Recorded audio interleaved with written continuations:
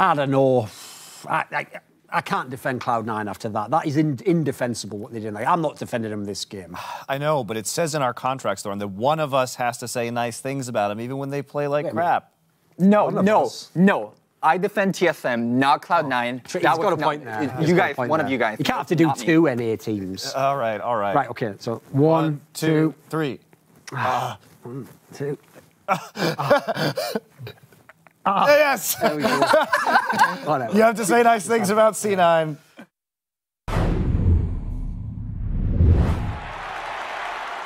nine, seven, six, five, four, three, two, one.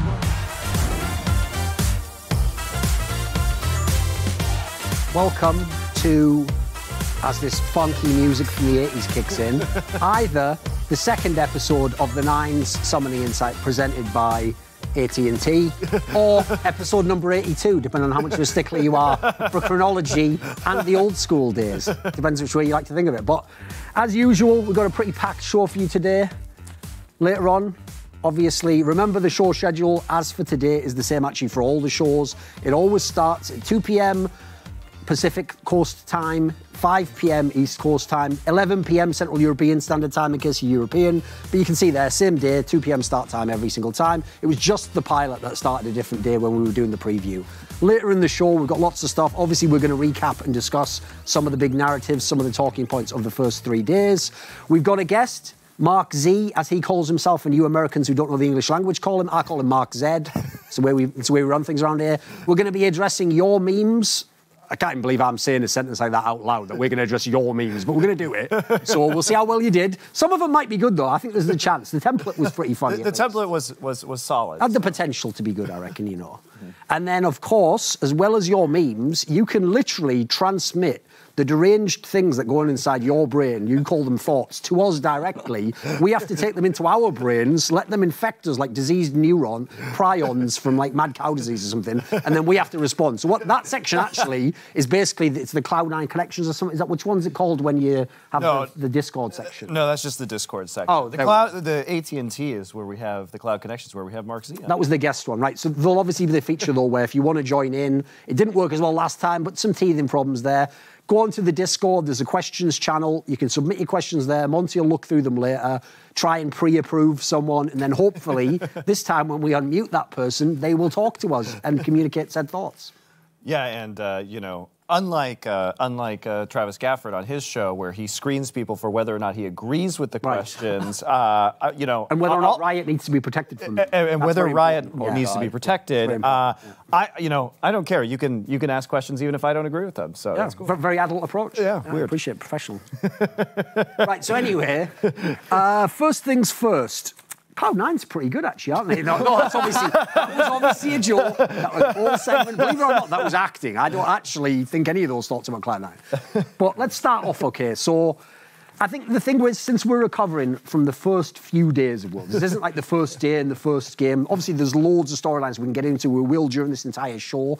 So let's just start with like, what were the big ones that leap off the page? Like, like as someone coming into the game again, what was a big storyline for you? What was a big moment that's happened already? I mean, I really like that SKT RNG game. It Sure. was really exciting. Um, I think it lived up to a lot of the expectations that we had of that group. And obviously, the ending was a crazy base race, so super entertaining. For me, that's definitely been the most entertaining game so far. Um, I think what impressed me is G2 also, their really clinical approach to just destroying Griffin um, really shows why they're the favorite of this tournament. They've looked absolutely amazing. The thing that stood out to me was the meta being different than what I expected it to be. There are non-AD carries played bottom, but the length of the game is a lot longer than what we've seen in summer playoffs for all the regions. Yeah, I mean, obviously, a topic that we're going to discuss on the show will be scaling, right? That that used to be the approach you took in the past. If you were the weird teams, the Splyces, the Golden Guardians of the world, the idea that you'd have actually elite tournaments, that potential tournament-winning teams picking for scaling is so different from what we saw in the summer. It's a, pretty much a different game than what we thought we were going to be playing. Yeah, I think the champion that really drives the whole scaling thing forward is Kayle. That was a champion we didn't see at all. And then she got that little bit of a buff where they gave her range autos at level 6 instead of level 11 and made the laning a lot more possible and a lot more feasible. And you see her winning lanes now. It wasn't Um, RNG versus Clutch, where there is like a mid laner difference, but the Kayle was actually smashing the Syndra. I think for me, the biggest surprise has to be Group B. This was the group that everyone made fun of before the tournament because everyone said, right, FPX is easily going to win, Splyce probably easily second, and who even cares about the others? Well, I've got news for you. Apparently, no one else in the group thought that because that entire group is, it's, we've got nowhere closer to getting any answers now than we have at the beginning of the tournament. Like, it's actually thrown everything into disarray. I just could not imagine FPX being bad and struggling in this group, but it's actually possible. And I will give credit to J Team. They look so much better than what I thought they were going to be. Yeah, but a lot of that was throwing too. I mean, I'm sure we're going to get into this a little bit later, but I, I think it was really disappointing to see, you know, Phoenix's results after in that game. Yeah. Which do we talk about first then? What do you think the first big topic was? I think that's not a bad one, the Group B one, because as I said, Sure. Group B was the one that looked the most by the numbers. Obviously, FPX should be everyone. In theory, Splyce should be a very strong contender for second. Instead, what you've seen is. Oh, I mean, if you notice, I, I heard a lot of people actually, when we did our predictions, I looked at other people's predictions afterwards. Most people actually were saying they thought GAM would be better than J Team, even. You know, I picked J Team to come third. Well, as you saw here, the thing about the J Team match there is, it's not that they played amazing. It's not that FPX played terrible. FPX kind of just played okay. Were constantly in the driver's seat the whole game, and the J Team team just won team fights. Well, I mean, but how did they win team fights? I mean, I, I this LWX's performance in this game gave me shades of whoosh, you know, back in the day, just sort of inting into the back line by himself. The entire composition is built off of having this really buff front line with the Sion, but all their damage is in the Kai'Sa at the AD carry position. So if the Kai'Sa is just dying in team fights and ulting into the enemy team, you have no damage to finish out. We saw that. LWX would die and the rest of the tanks would just stand around doing Yeah. nothing. So what's so powerful about Kai'Sa is she has instant backline access. That's not a tool that's given to any other AD carry. So you can just sit around and wait for cooldowns to come down, and then you go in with your ultimate. You still have your E for invisibility, and you can dodge stuff with it. So that's what makes Kai'Sa so powerful. And this guy. Anytime there's a knockup, anytime there's CC, he would go in instantly and die. I'm like, that is not how you play Kai'Sa. You Yeah. are an all-pro number one AD carry from Summer Split in LPL, and this is how you play. I'm like, I, I was shocked at the level It was of play. terrible. What you nailed there is the saddest distinction is remember, this is going to be the first game some Western fans are ever seeing LWX play. They, they haven't watched the LPL teams. So they're hearing this is the champion of the LPL, like one of the most dominant splits ever. You think of China, you think of AD carries, you're going to think this guy must be amazing. He's got hype coming into the tournament and then has a performance like this against a team that's supposed to be a And he was set up for success too. I mean, there's tons of crowd control here. He's playing with a Galio, right? The purpose of the Sion is to be able to roam and enable him in other lanes, and I, just dropping the ball in those team fights, like you, you just can't do that because it ruins the entire purpose of the composition that you built. So I was told he'd be like Wild Turtle, but better. So I went back and watched the games, and he was like Wild Turtle, but better. He pulled the trigger at right times, and he would carry the team through. But watching him at the world stage, it's not Wild Turtle, but better. It is literally just Wild Turtle. Whereas I'll give credit, the one player on J Team who I do think actually had a pretty good match overall, it has to be FoFo their mid laner. Mm-hmm. This guy actually played his win condition on Akali very, very well. Like he, wa- he really did wait out the fights correctly, going on the right opponent. He never just died and got blown up instantly at the beginning of the fight. So I can't give J Team, like I said, I don't give them, like everyone wants the story when an underdog wins to be they played so amazingly, they just cl- eclipsed the level of FPX. No. FPX bent down, he- helped these guys up, but that doesn't mean that they're anything less than a tiny little guy being lifted up like that. Like, J Team's not a sick team. Look, real. yeah, no, it's not. And I think that realistically, if we're looking at, at Fun Plus Phoenix, part of the reason why they lost this game is because they put all their eggs in the LWX basket and then he choked. But there's a really easy way to adjust for this, which is simply to not make him the primary carry on the team through your drafts and then rely more on other players to carry that weight. Because if he's just going to choke on the stage, then make him less impactful so that, you know, if he is dying in early fights, or literally, like you're saying, Kai'Sa has the tools to get into the back line, just don't give him a, a, a- a Don't give him champion that can do that. Like, just don't let him do that. You can make it so he can't, right? I tried giving Turtle Ash once, and he flanked with Ash. So this guy might do the same. thing. Is that better or worse? I, I don't know. It's just disappointing. Is that better or worse? The problem is, realistically, that was the main storyline of Group B. So I think we just jumped right into the more. To me, the most interesting interesting ones so far were C and D. Just even in terms of the results we had, like in C is the one with the big three-way matchup, and as you said before, like it might look there like right RNG one and one. It's like actually RNG looked good in both the games they played here today. Fnatic certainly weren't bad in the SK Telecom loss. I think the storyline for me in that group though is SK Telecom in both their games has looked like a, at least a decent amount ahead of both the teams they'd played to me. They looked in control at all times in these matches. I, I mean, with the exception of possibly the end of that RNG SKT game, Mm-hmm. Sure. but they did make that very intelligent call. Like Yes. when they're coming into the end of that game, they realized that they had a TP advantage. They realized that they had the Lichbane advantage, which is huge for take it for base races, right on the on the APTF that that Faker was playing. So they realized that they could just push faster and they could get more people into the base. So it, it ended up being really a fantastic play call from them. I have a lot of criticism for SKT, but we'll save it for when Mark Z gets here.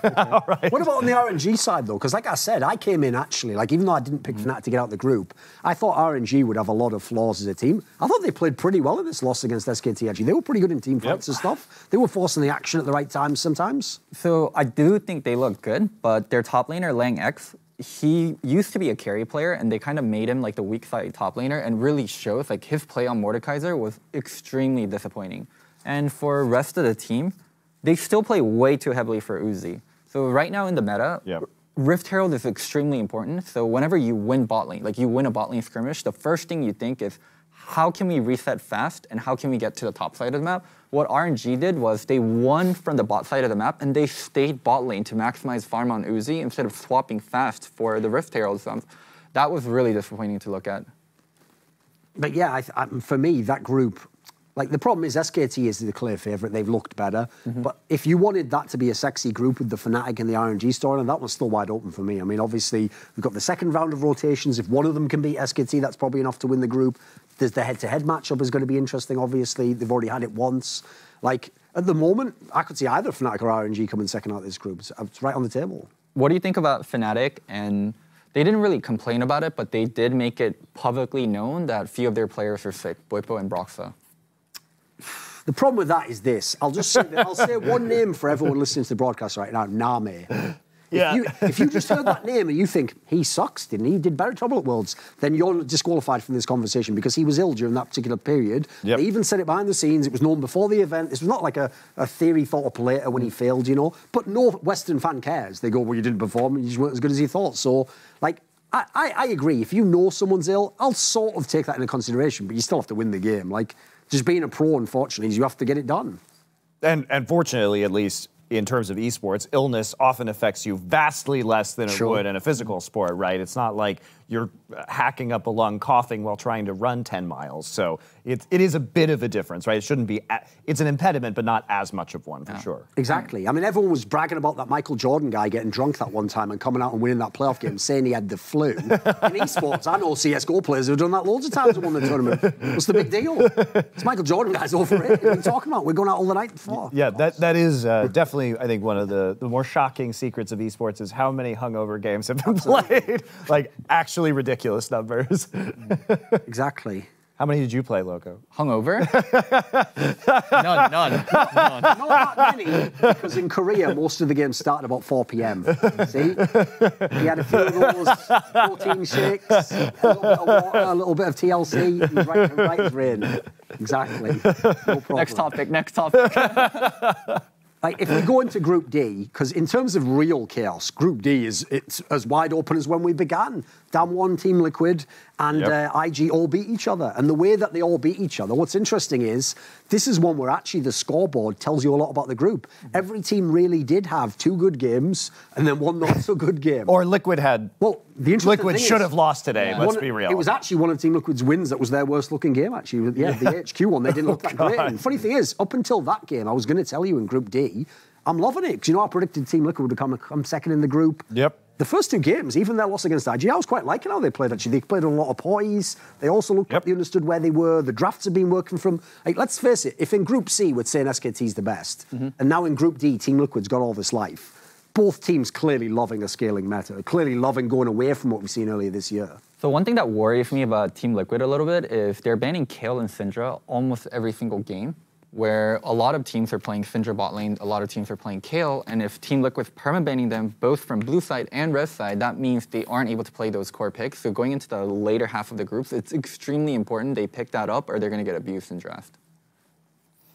I, I think also I, with Liquid's case, I, there was a little bit of a seems like communication issue today surrounding their bans. Oh, the which Rumble ban. Yeah, the Rumble ban, which is a little bit disconcerting that CoreJJ like couldn't get that last ban in there because that that basically nearly lost them the game. Yeah, giving them Rumble was a Ziv, huge Ziv was wrecking them with those equalizers. So I, that's a little bit worrying that they would even have those issues. But I think for the most part, Liquids, in my mind, has looked pretty good. Um, and conversely, on the other side, like IG, they showed up and we talked about this in the last episode that if TheShy and rookie can somehow get back to form, they've looked amazing. It's really the problem has been Leyan and Baolan who have been Jungle- total non-factors in this tournament so far. It's like I said before, the real problem is this.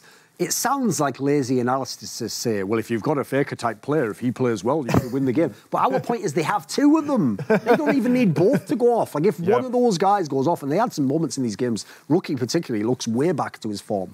If if they're at play at the level individually they do in this group, already that's a problem for the Damwons in the team because they don't have as good players in theory. That's the area IG always was actually like probably underrated now that they're not considered a top team, is they still have a banging lineup of players. They have some amazing talent in that squad. Yeah. And in theory, in every lane. They actually have triple threat. JackeyLove, Exactly. rookie. It's one of the Shy. true, real triple threat teams you can have and really play through all three lanes if you want. It's true. It's just a little bit disappointing that the support and jungler are so weak. Like there's such a contrast between those three and the other two. It's like a vast chasm The problem, of skill. The, the real problem for their team, unfortunately, is that they did lose the jungler that they lost Ning because basically he himself, he not only like perfectly fit their style, like his own idiosyncrasies as a player was how they played anyway, and he was kind of like he was like a Chinese kid, as it were. Like he was a super aggressive player who wanted to go for the fight. So even though I can see why they've managed to stabilize the team with this new guy now, it's not the same as when you literally have five players who, on paper, were all bangers. Like like Baolan was always a bit overrated, but you know,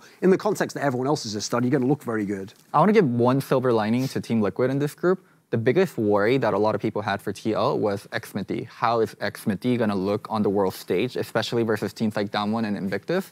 And he actually showed up, and I think Jake had great games all throughout. His Baron steal versus AHQ was extremely crucial.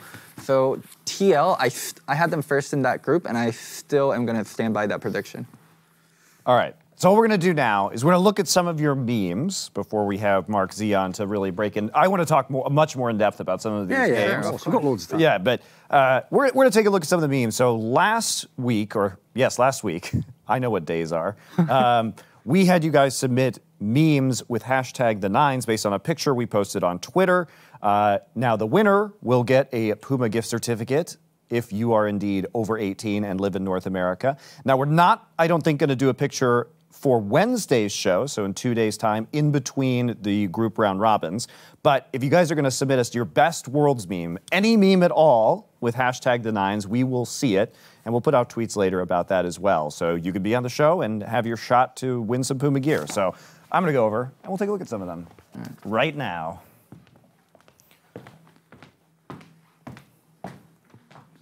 All right. So number one here, they didn't use the green screen, but we did have TSM will make it out of groups, which is of course the the refrain of That the is how fans. Loco would respond if he, if he was told that information. Somewhat Just surprised. A bit, a bit confused, a bit puzzled, and generally just underwhelmed. Oh God, TSM jokes are so overdone. No, you know what? Apparently, Bjergsen You know- doesn't agree. You know what? You know what, Loco? We had to put up with this garbage for years from Exactly. them. It wasn't garbage when I was saying it. No, you know, it, it was the fans. It was the fans, Loco. They were so ob- obnoxious. And so now I love the TSM fans saying, like, why do you guys hate us so much? It's like, do you understand the abuse that was piled on everyone who was not a TSM fan and by TSM fan for years? Exactly. It's going to go on forever now. You created a monster, TSM fans. This is, you reap what you sow. Anyway, enough about that. Let's move on. Well done, though. Here's the thing. One thing I'm always looking for is the actual meme makes sense. That actually made sense. It all, it all checked out. The, It, it does. the context, everything. So that was at Lazie on Twitter. So let's check out number two here. We got three to pick from for our winner. Green Shorts Lol on Twitter. You're trying to be part of the hot take club, Loco. Which you do say Campbell beats That wasn't Slice. even a meme. He did actually. like, that was a real thing he said. I bet on it even. Yeah, that that wasn't even a meme. Uh, I have a random comma here. Only plebs, comma, sleep on our Korean overlords. You don't actually need that comma, green Yeah. shorts, but that's fine. Surprise, surprise, good teams only lose versus good teams. That's almost there. The problem is, I did actually predict some pretty edgy ones, like Team Liquid placing ahead of like if Dan Warner or something. You know, I picked some ones that are a little bit off from that. He's right though. I generally just tend to go obviously with the favourites. I looked so derpy in that picture. I can't believe they used that picture of me. Why'd you make that face, Loco? I, I don't. I couldn't see like what, what face I was making. They took the pictures. They're like, "This looks great. We're gonna use this for the template." Wow, this sounds like a really good meme for next week that you guys can use. So just cut out his head and use it for something. Oh, anyway, God. on to the next one. Next one, please. D Wheel 21. Guys, how do I rotate text? Do you guys know the context behind this one? No. oh my god. I, I, Is this the, from the group draw? No, it's not actually. Um, it's from. I'm not sure if I should even say the site name. it's an infamous site that ends in .org. Uh huh. Okay. There's not a lot. It's a, it's a number. yes. And I- then four letters Yes, and I .org. understand what you're saying. Can I say it on broadcast? what, what site it is? I, uh, sure. Okay. But- but on that site, there's new users that come on the site, and then they aren't able to rotate text. So that's like a very frequent uh, Got it. question Okay. asked. so there you go. And that's all of them. So which one do you guys want? I mean, that one was rubbish, so that definitely doesn't win. I think probably the first one. I was like the best. first one. I think the first one was the best, yeah. Like the first one was an actual meme. The third one was some rubbish in joke. The second one was just people putting like what we actually might have written on the piece of paper. Like that, the second guy didn't get the concept of the meme whatsoever. He was like, "I'm helping guys." It's like that was rubbish. And the third one is like, "Do you remember that other website that has nothing to do with esports?" Like, sort of, but like, you know, just me and you get it now, not everyone else. So. Number one wins because it actually fulfilled the criteria. the. I like Sounds the good. first one because it doesn't use the derpy picture. Exactly. exactly. Loco's more concerned with uh, how he looks than how funny it is. Like a true entertainer, right? So anyway, if we wanted to fit in more awkwardly constructed memes that barely relate to League of Legends, we'd be doing a different type of broadcast. Now back to the show. So, should we talk again about some actual topics in the tournament then? Let's l- let's uh, let's go to Mark Z next and, Okay. and have a conversation with him. So we're gonna come back with Cloud Connections, brought to you by AT and T and AT T T T AT and T. Yeah, that's right. AT and T. AT and T. We got there eventually. So we'll see uh, you guys in just a few seconds with Mark.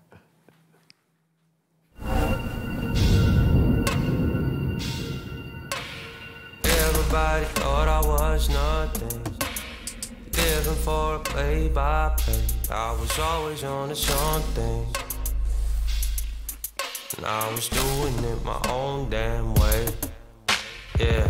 Nobody get me like I do. I ain't never be the same as you. Just trying to break through.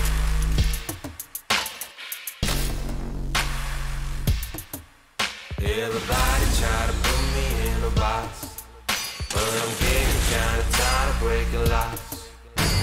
Gonna live my life if that's okay. I'ma do it, yeah, I do it, there to do it my way.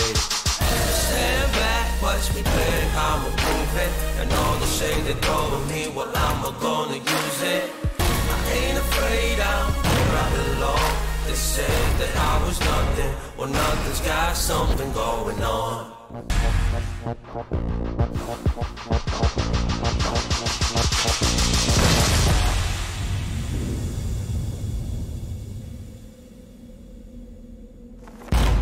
Everybody thought I was nothing. Now they do it, try to do it, wanna do it my way.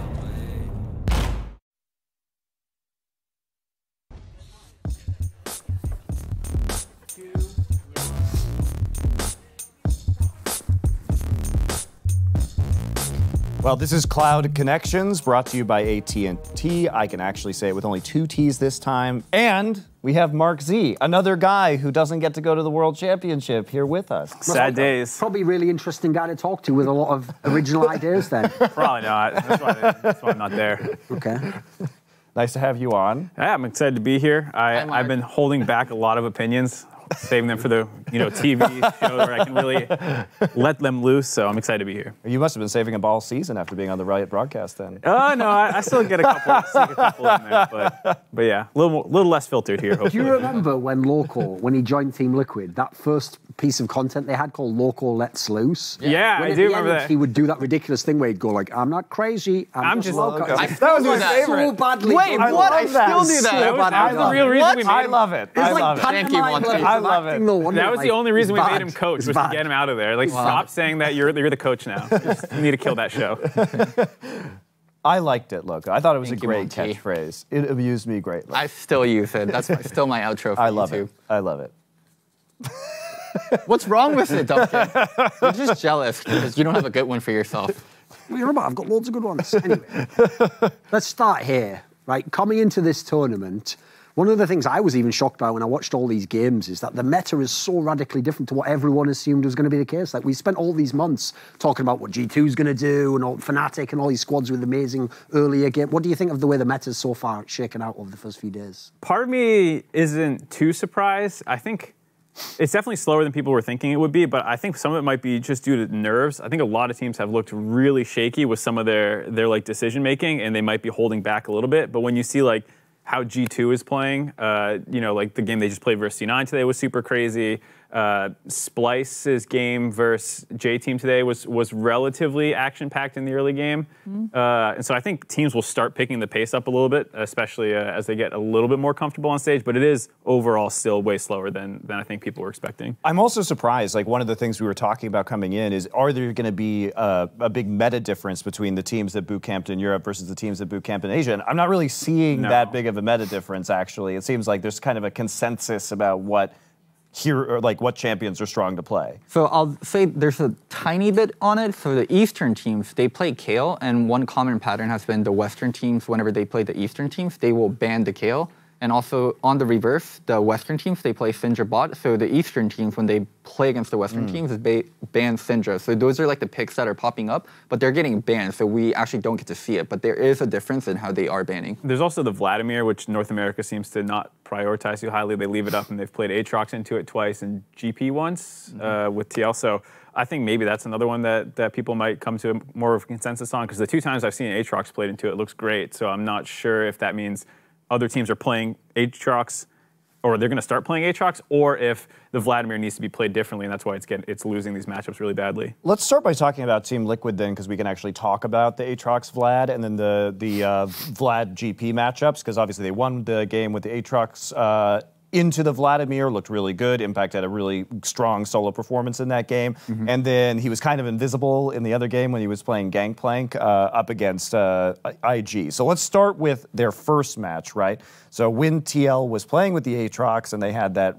super dominating performance, it was I, a lot of people were crediting Impact with that solo kill or at least chunk eh, before this team fight started. Against the remember against a team where their best player is supposed to be the Yep. top laner, he's the guy people are hyping. And they let him have the potentially Vlad. best Korean top laner, you know. And Vlad, Vlad is a specialty that they let him have, Yes. right? So I think TL had a really good draft going in. I think Jarvan Galio as a combo, we saw it a lot back in spring, how powerful it can be.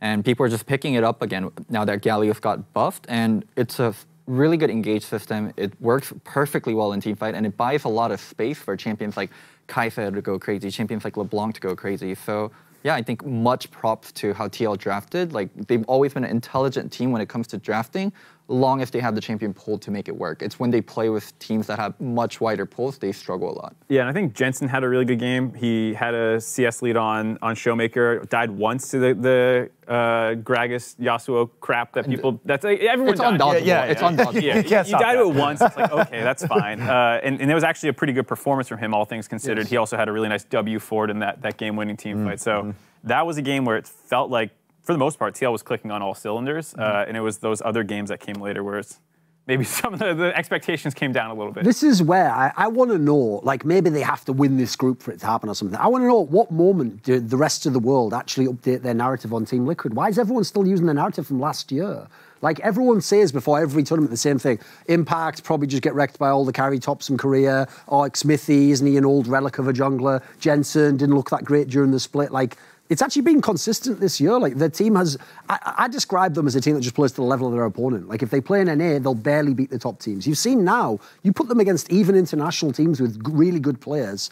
They're never out of these games. They're not getting battered in any of these. Even in the IG game, they were they were holding their own for a long time. No, I think it's just a little bit of just bias against North America because historically we suck, and I think that's relatively fair to say. Like, yes, C- C9 is the exception to the rule, Sure. but like a North American number one seed has never gotten out of groups. Um, it's only been C9 to get out of groups. That's why we've got to change the narrative, right? right? 'Cause Except for this te- TSM in 2000. I mean, this Right, ti- the one- yeah, but- yeah, but they didn't come first, though. The difference is this team actually deserves it. They're a number one seed, and they live up to it when they come international. Well, it's right. legit. I think the MSI thing was everyone was wondering is that a fluke or Exactly. not, and and I think they've pretty much answered that by this, at this point that not really. I don't think so. No. I mean, maybe they shouldn't really, you know, they're still a worse team than IG, but they're not so bad that that was just some insane fluke by IG that they lost. Mark, so I talked about it earlier where the West bans um, Kayle and the East bans Syndra. Right. TL bans both in almost all their games. Are you worried for them at all in the second half of groups? It a little bit. It reminds me. I think it was Worlds where Jensen wasn't playing a Akali and they were banning it every game. I, uh, I might be. I might be getting it wrong. There was. It was either Sylas or Akali or one of the, that power trio that was going on with Aatrox as well. That that C9 couldn't play. And I think Jensen sometimes is a little slow to pick things up, but. I, I don't know. I mean, they have seemingly their own answers to things, so maybe it's just like a safety for right now, and they'll adapt as they go because you're not really sure what you're playing into, and so you just kind of ban the most obviously popular things, which Syndra's one of them, Kayle's one of them, and, and it might not be like a oh we absolutely can't play this situation. I'm hoping that's what it is, but it, it could be. Uh, worth noting that it was Damwon that banned Syndra in their game here, whereas Team Liquid banned Kayle. I want to talk about the game that they played against IG because that one was really interesting to me. And you guys are saying that I, I don't think this game was particularly close, actually, because I think the problem with these compositions in the draft is that when we saw the rookie and shy get control over the Baron pit, the issue with playing the gangplank and Impact not really having a presence in this game is that if you lose control with Gangplank, you can't set up barrels. Like you, it's very difficult to barrel into an objective or set yourself up in a way that you can do a lot of damage. Meanwhile, it's super easy to catch people in a choke with a Vlad ult and a Shockwave, right? So we're talking about a situation where the gangplank kind of has to have a map presence advantage to be the most effective it can be, and it's really hard to regain that once you lose the vision control. One thing that really shocked me about this game, um, I'll go back to the game point, gangplank point in a little bit. TL is a team that's really good about practice plays, and they know how valuable Rift Herald is. I mean, they play in NA, they play, play versus Clutch all the time. IG made a lot of mistakes around bot lane, and TL got ahead in bot lane. It was past 10 minutes, Dragon wasn't coming up. Instead of swapping their bot side to top, they had Gragas come back bottom and try to go for another gank through the lane. I'm like, just swap. You're ahead in tempo. You're winning boss side. Why would you not swap? Like GP in 1v2 situation can infinitely clear with his ult and barrels and just take Herald. And they didn't do that play and they went kind of went for like a kill mid lane. Jensen died and they ended up falling behind so much. It was so shocking to me because TL is that team that is excellent when it comes to this is a set Herald play, this is a set Dragon play, and they didn't pull through with it. I'm curious how much of that is like a problem they're going to keep having, or like a single game problem, because they had really good plays in the early game. Xmithie set up a gank in the top and bot lane, and both them, his Q barrel was like a, bit millimeter off. off. Yeah, yeah, you know, yeah. and if he They was able to land kills. both those, it's two more kills. Uh, Gangplank, the point um, about not being able to set up correctly with him is, is a big problem. But even when they did have vision control advantage, he almost never landed a barrel chain. He, he just had. I mean, we all know Impact's a great GP, so I'm not going to you know say he's bad at it, but he had a bad game on it. He did not land enough poke uh, around objectives to properly set up, and then eventually they lost control and they're making these bad macro plays like you're talking about. And then the most egregious one that lost them the game was you know they were just super late on a reset where they didn't have any wards to drop before they they're back, so they just. Enemy team keeps vision control, resets faster, gets to Baron, and then you're just blind face checking. This And, is also and you can't blind face check into a Fed Orianna. with a fiddlesticks and like yeah, Yeah. it's just a nightmare. There's also the factor as well. Like, let's face it, you obviously had Vladimir come in for TheShy, which is already one of his best picks Yeah. anyway when it's not in the meta. And he's actually known for that's one of the ways he built his rep is like winning. Not this Unwinnable time, matchups, but the yeah. matchups you're not supposed to be able to. So even though that doesn't look like a dead draft when you give him that, like that kind of is like TheShy's going to mess a lot of people up with a champion like that. If you look at IG's draft, it's Vladimir, Olaf, Orianna, Kai'Sa, Fiddle. They have no one tanky, and they have no one that can really face check brushes. One thing that Vladimir did that was so crucial for IG was game was stalemated, TL had all the vision, And TheShy made a solo kill happen in top lane where it wasn't supposed to happen. He created something out of nothing, and it allowed IG to get pressure back where they shouldn't have been able to. When they don't have vision control, they're not supposed to be able to check into a Rakan. They're not supposed to be able to check into a Gragas. Hmm. But he's creating holes where TL has to go deal with it and give up some of the control they had. And eventually, they were able to get Baron that way. I mean, at least with the Olaf, when you have ult up, there is a way out, right? Because it's going to drop the CC, so you can, but it, it's. It, And you can only do that Face once. checking exactly is predicated around a cool an ult cooldown with Olaf. And they do have some more tools. Like you can just throw axes, you can throw the ball into things. Mm-hmm. So they have some ways to, to look at this stuff. But they're yeah, I mean TL just needs to actually poke out correctly when they when they are doing that. Uh, and I don't think that they did a good job uh, mechanically of of punishing IG's face or like you know scouting attempts.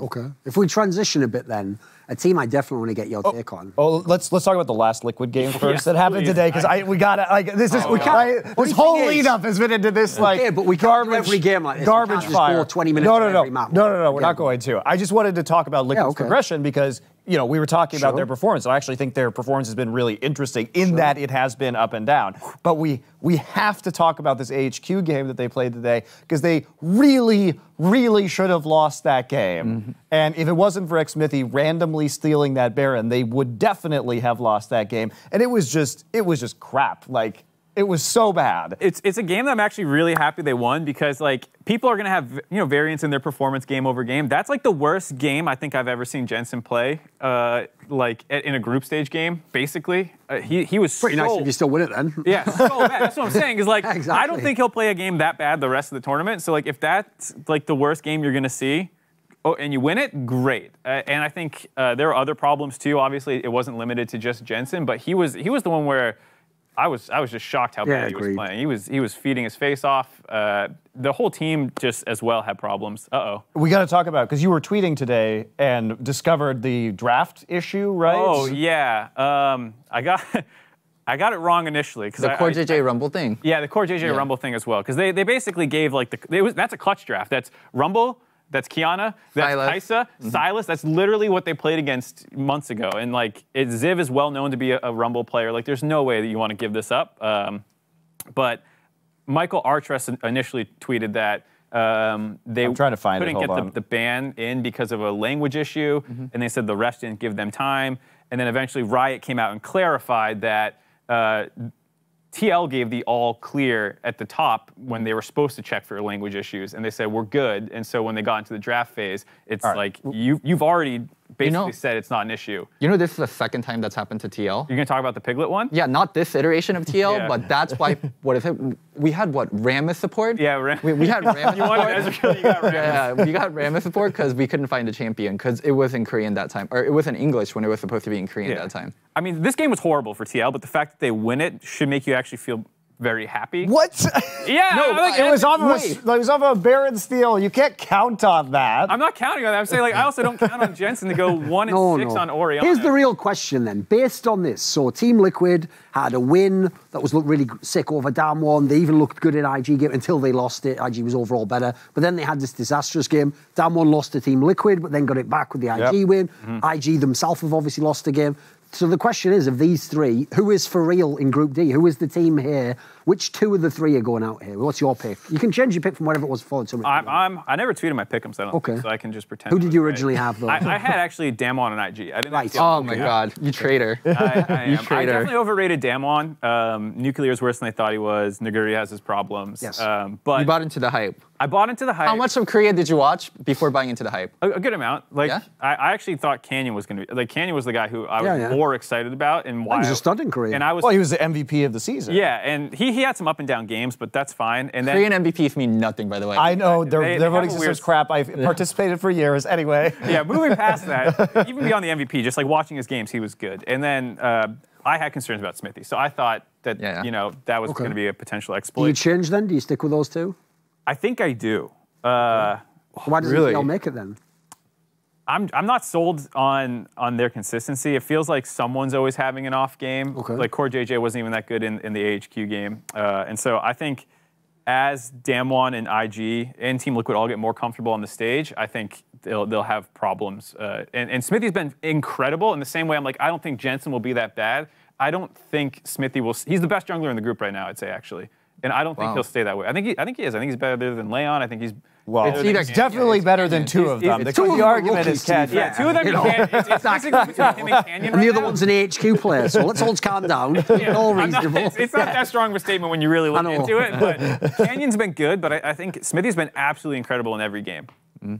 I, I just looked at this game versus AHQ, and I, I I was appalled at the way they were clustering around like the Rumble ult. Like Ziv was just wrecking them with the Rumble ults. Then they'd steal the Orianna ult with Sylas and use it on them. Like, they were just their positioning was so weird versus a Rumble. It was like they were giving him maximum value. You're not feeling And, like, Liquid. And it was Are the, you going to change yours? yeah. That's that's a good point. Where are you going with this? It was for real in Group D. So I said, I Keep said, I said in the, I said in the show that the issue was right coming in that I wasn't confident in rookie and TheShy returning to form. Okay.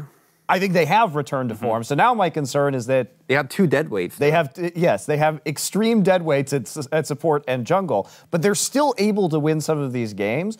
But at least, at least you know what you're getting with IG. I feel like they've had very consistent performances, whether it's been very good from three of the players and pretty bad from the other two. But at least if you have consistency, you can create strategies around that, right? Just give the the hard carry Uh, champions the hard carry players. Like at this point with Team Liquid, I don't even know what to think because one one game like Impact's popping up. Impact saved the game against AHQ today too. Uh, Oh yeah, because Jensen got caught again. yeah, because because they were just getting dumpstered by the Qiyana ults and also the equalizer, right? They were just getting womboed left and right, and Impact saved the game at the end. So between that and Xmithie Smite, but I, I just can't deal with these super inconsistent performances we're seeing from Team Liquid individually because you can't craft a strategy around that. The only thing that works in their favor is that arguably Baolan uh, and um, Nuclear are like the weak points on the teams that they're playing against, and that should be TL's strength. So like, if they can exploit the bot lanes while their solo lanes hopefully play like they did against Damwon in game one, then then they can probably get out. But I just I don't have enough faith in their solo laners after seeing. Um, you know TheShy and rookie Okay. and, and showmaker when he had a good game. You know. So, Loco, the thing is, I'm loath to brag about my own things, but I did say that IG would be the best team and Team Liquid would come second. So, obviously, I don't have any problems whatsoever. I know who's for real. It's still the same teams. You change your picks, though? So I had TL down one coming out.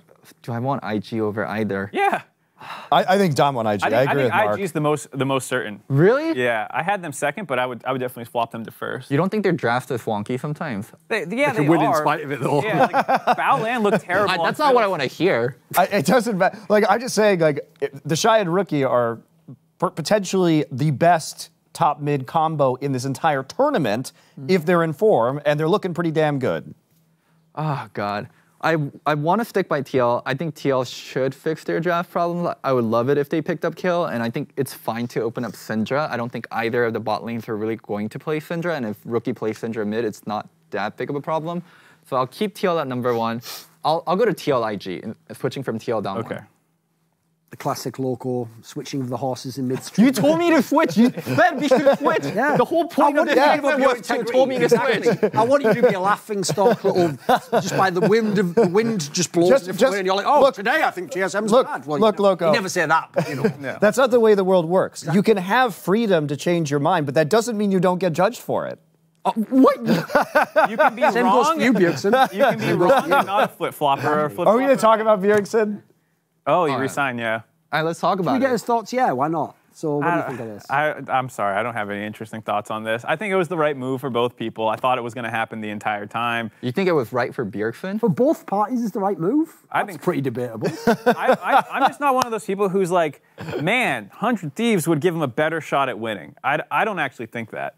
Uh, What do you think of TSM's management of their roster the last two years? not good.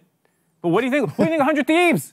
Well, Papa Smithy was They- just Papa Smithy has now been put in charge of it, right? So we can't really judge it because he has been been given complete control of this roster. So we don't know what they're going to do. Wait, wait. Totally Mark, fair, Last but- two years, who did better job of managing their roster? 100 Thieves, TSM. TSM. TSM? 100 TSM didn't literally blow their roster up when they had a winning formula. What? They didn't blow their roster up when they I had a count, winning I don't count the, the, the Sven Doublelift trade thing. That he's, was do- he's doing the like, uh, starting now. starting now. starting, starting now. starting they had three MVPs on their roster. Three MVPs on their roster. Pre-franchising. Pre-franchising. week one of spring There you go. 2016 and onwards, 100 Thieves did worse. Not counting the offseason. counting. Okay, so thinking back on how much experience TSM has had, whatever. Thinking back on how much experience TSM has had compared to how much experience 100 Thieves has had, I think 100 Thieves did a better-ish job. And if we project into the future, I think 100 Thieves will do a better job. Maybe. I just like how he's he's just he's just crapping on Papa Smithy before Papa Smithy. I'm does not, I'm not. I don't have any basis for Papa Smithy. I talked about this on, on Hotline League once, and I was just like, I don't know. Like, I, I think he's a smart, capable guy, but I'm not going to just be like, he's a great GM Well, to be with, fair, with no basis. It's ob- obviously, and it- you know, it's a very, very different job, right? Uh, when you're because it's all about the personal relationships and the way you're going to conduct, like actually structure your team. So it's a difficult job, and it's, Yeah. it's. I think he has the background to do it. Absolutely. in and of that, he comes from. I mean, he has like the perfect background in that. He was like a school psychologist for small children, and considering pro players have the emotional maturity of elementary schoolers, I thought it's actually like pretty good, right?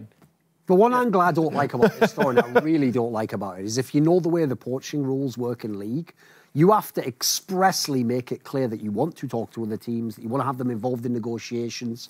So my concern is this, right? Bjergsen, eh, maybe he'd had a bad split in terms of individual form, right? But in terms of the scale, the like scale of the league and the scope of his name, he should be the LeBron of the LCS. Like he should be the mm. guy where when he has a free agency period, even if he re-signs with that team, he should be looking at all the best deals in the world. Like 100 Thieves should come and make him an Yeah. offer. And Cloud9 should even make him an offer. And the idea is all of these teams either offer, you know, more dollar amount, or they can go the other route and say, I'll make you this team, we make that squad. So my concern there is it sounds from the way it's been delivered to us at the moment as news, as Cos Bjergsen just wanted to stay at TSM anyway, they all just got together in a room and just said, just give me a better deal. If it's a good deal, I'll go. Whereas even if you were going to re-sign with TSM, at least hear all the offers out, you know, like try and make it the best possible deal even with TSM on that angle. That way you have no regrets when you go into it. Because this kind of is, if you look at how long his career, maybe the last big contract of his career. the one small thing was the Washington Post article saying that Riot, TSM, and Bjergsen had been working on the specifics of the deal Oh, to that make kills me. to make sure that like it was kind of legal or whatever. Uh, that's that's probably That's a why bit I think worrying, yeah. he didn't go to free agency. It was just like. You know, I've already gone through all this work to make sure I can get a portion of TSM as a part of my my, Sure. my deal. for Can we talk about that part, which is incredibly problematic, by the way? Yeah. And I know, uh, you know, Reginald probably doesn't think this is a problem because he's like, remember when I was a player and also the owner of a team? Yeah. Uh, I did really well, which was false because here's here's the main issue. When people will say, well, yes, TSM was winning anyway, but this was before the era when Reginald was playing where coaches were really a part of it. And TSM was winning at the time, but I think they could have done even better if they had actually invested in infrastructure and coaching. But it is fundamentally impossible to coach someone when they own the organization or a partial owner how do you discipline them? How can they be removed from the roster? It's it's ridiculous to think like sure it could be good for Bjergsen to have partial ownership in this team, but it gives him a very strange power over the coaching staff, over the, his managers, over the other Not players that that on was the ever roster. a problem already. Yeah, not that that was ever an issue before. Yeah, that's but why now, it's fine. but now was it's out there. But now it's out there, and it's like it's real. And I, I just don't think that having pl- active players as part of an ownership group is a good. Here's another strategy. obvious reason it doesn't work. The- Bjergsen himself, the problem with top pro players is they always think they're going to remain top pro players. And the one thing you'll never convince a pro is, you know what, in like a year you might be terrible. They'll be like, no way, I'm look, I'm good now. I'll keep my level up. What Bjergsen hasn't probably thought about with this deal is this is your last deal with, with in League of Legends, Bjergsen, because if in two or three years, let's say you want to leave TSM and go somewhere else, that's not even an option. You have to sell your, your equity at that point in time. You can't play against a team you own and I'm sure it's like most and they'll retire you if you have to have the equity anyway. So if you get like borderline, they're just going to take you out the lineup. Well, and, and I'm sure it's like uh, equity in startups where it's a vesting period. Yeah, Sure, I'm Where- sure it is. So he has to play for them. For, Yep. uh, assume it's standard four four more years before he gets. Yeah, yeah. Just because he has a two-year contract doesn't mean that it's all going to vest over those two years. It could vest. There could be some aspect of this deal, like which I is he stays with the org as a figurehead But or this as is a the coach. problem. As I just implied, that leads to a world in which, whether he chooses to or not, he might be forced out of the starting lineup because he doesn't have an option to go somewhere else. He doesn't have an option to transfer to another team unless he gives up all this, the ownership he just took. I, I just can't even believe that Riot would allow this to occur. This is. I know it's crazy, isn't it? Riot not really closely defining the rules, applying them in an almost arbitrary and sometimes biased manner. And then eventually at the end of it, no one really knowing which way it goes or who to complain to. The jungle problem has to get worse now, no? which jungler are you going to bring in that can actually speak up to Bjergsen? So uh, SKT had a really similar problem where Faker would pretty much overpower any kind of jungler that was given to him, and Clid really fixed that. And Clid has his own voice, and that was against Faker, who was a ginormous figurehead. Now Bjergsen is going to be even a bigger figurehead on TSM. Can we just Faker t- is on can we TSM. just give for one equity a jungler. what? Can we just acknowledge for a second that Reginald, his main problem in TSM was it was a pretty good team. It was like one of the better teams in the world, definitely the best in North America. It was winning, but a lot of people said he was in the way. The problem is the owner is the mid laner as well, and so how could the jungler ever have parity? You've now created the same scenario. That's what I'm saying. Why That's you done what I'm saying. Why have you done that again? That's what I started by again. saying. I, I just think the entire thing is just so wacky that they would repeat because, like I said but, earlier, like- he could think it worked earlier, but that was before there was real infrastructure. That, that doesn't mean it's going to work now. The world has changed. If you thought it was bad, right, during the split, one of the things that shocked people was when one of the players was streaming a TSM player, he accidentally flashed onto this like Excel document they had. Oh, yeah. Where they were listing like all the mistakes you made in your scrims and you know the players would review the VODs or whatever. Imagine the equivalent of that, but Bjergsen literally could just fire you from the org. He's just looking Yes. over after the game like, "Hmm, your performance review. I'm gonna say it was a not satisfactory ganking around the mid lane. Like, this could be a nightmare. I don't want to see him go down some dark, like Sunset I- Boulevard type angle. I, I'm not saying like he doesn't have the power, obviously, to fire He's like, "I'm ready for my gank but- in the mid lane But now." he- the problem is, the problem is, is not that he's like he's writing pink slips to his his his teammates. The problem is, is that since he, he already is, did that anyway. since he is in a position to be basically unfireable, Yeah, exactly. then everyone else he can just do whatever he wants because everyone else is expendable except for him. Mm-hmm. And my other problem with, uh, I think we could read into this further because there's another issue which is. Is this going to be normal for contracts for players? Like, I think it opens this crazy Pandora's box where good players on bad teams can start trying to demand, demand equity, yeah, which no one else is going to get, but it creates a very weird tension. There's there's the other issue too, which what does this say about TSM that they had to give him equity to stay? That's not that's not a good sign for TSM as an organization. That's like that Kanye line where he says that Nike had to give LeBron a Billy so he wouldn't run away. Remember that classic line? Probably shouldn't have No. referenced that particular sponsor, but whatever. Presented by Puma. Luckily, it's Bjergsen. I don't think Bjergsen will I abuse say, the power. yeah. Like if it was someone else, then I think it'd be hugely problematic. but Bjerg is like the, at least a. right She's very person ch- yeah. He, he, You don't think? I think there's way worse star players. Mate, I'm going to start a hashtag so that people who've been a jungler in TSM can just come forward with their experiences. Man alive. Okay. It's outrageous. But but going back to like, talking about? going back to what it says about TSM as a team, like why would you why would you ever it says it's very bad that they would have to be even in a position to give up equity instead of just money. That's that is a bad position. Well, equity also says you're part of us, your family. Money doesn't. this isn't a. Disney movie. It's a business. what are you talking about? as a business, you, the the way the endemic esports teams have been raising money and you know expanding it every time you give away equity you are sacrificing potentially huge sums of money down the line because these teams have gone Cl- Cloud9 was started for $10,000 and is now raising at hundreds of millions of dollars. And do you know what I why mean? it's worth millions of dollars? Because they're at the World Championship, where TSM will never be again. So let's get back to the World Championship. This is the narrative. Someone inside presented by AT&T without TSM. They're rubbish. So anyway, back to Worlds. Great. Like, the question I have, we alluded to it earlier, is let's talk about that that crazy group C, the one with Fnatic, SK Telecom, RNG. What have you thought based on this group initially? Uh, it's mostly gone as expected for me. Um, I think the only weird part is I, I like the Garen Yuumi that Fnatic's still running. Some Oh, teams kind of were up in the air on it. It plays a little different than it did, whereas like the slow initially made it so like you could just chase them down. Now he's just like a walking artillery, and he uses the tenacity to just make sure you can't get CC locked, so you can just blind face check things. It plays really. I don't like how it plays. It's just, so imagine me coming back. I was telling the story to them earlier, Mark. Imagine me coming back to League of Legends and I was doing, you know, catching up on all the champions I missed and looking like, hmm, untargetable. Oh, you could just build a death cap on your support. Yep. Oh, and you can poke for free at extremely long range. Put it you this can way. guide the missile. And I was like, what am I looking at? And then you put it you put it on a tank that can face check anything. Imagine for for, free. the show, if you know we can do skits and stuff. We have all this production value. Imagine if we'd have done this joke skit where it's a cold open and Monte's like discovering what the champion Yuumi is. at the end, if at the end you were like just trolling, it's not real. He'd be like, of course it, is. wouldn't be. You know, like it's actually ridiculous when you just describe the champion. you think like, how can this exist? It reminds me of that Meteos clip from That's back. That's what I was Exactly what referencing to him. Yeah, I told him the unfortunate thing was that that wasn't even from that long before, and he basically described Yuumi, didn't he? Yeah, he was talking like about it's Ivern, but- untargetable. Like yeah, exactly. Oh god, yeah. I, I think I, I I wasn't really ever bought into the Fnatic hype. I think a lot of Sure. people, and I don't think that they're not they're a bad team or anything, but people were were positioning. They went to game five versus G2 Exactly, twice. yeah. Right, and the logic was they could be a winner of worlds, right? That was Right, the that was that was using, that's yeah. that's why I mean I overrated. Yes, like I didn't think that they legitimately had a real No, shot at Worlds.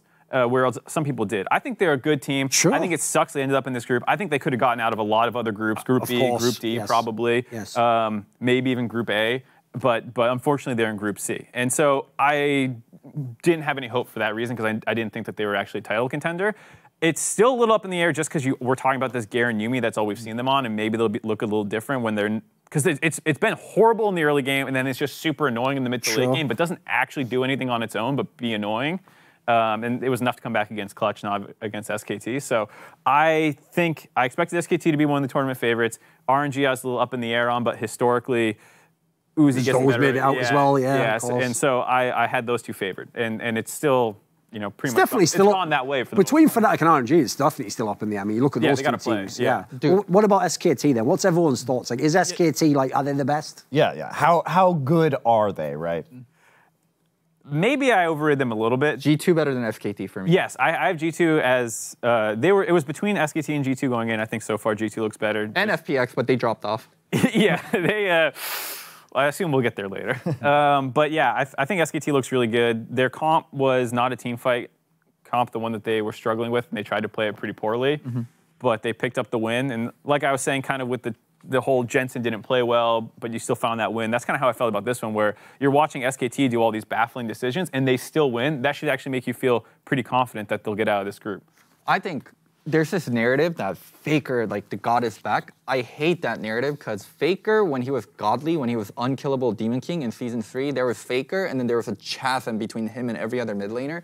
It's nowhere like that. I think he's still the most well-rounded. I think he's still most experienced and the most clutch mid laner. Who's Chaz M? Is he some guy who's like part of the staff? or? There's a giant gap between Faker. yes, there you go. But- um, But I, I think part of that too was just the way the game was at the time because you could snowball in season three in 2013. You could snowball insanely hard in a way that you just out of the mid lane. Like remember when he could literally just one shot supports on LeBlanc? You could buy LeBlanc. two pink wards and put him down in his own like. This is where I'm going to make a play. It, Yeah. can stop him.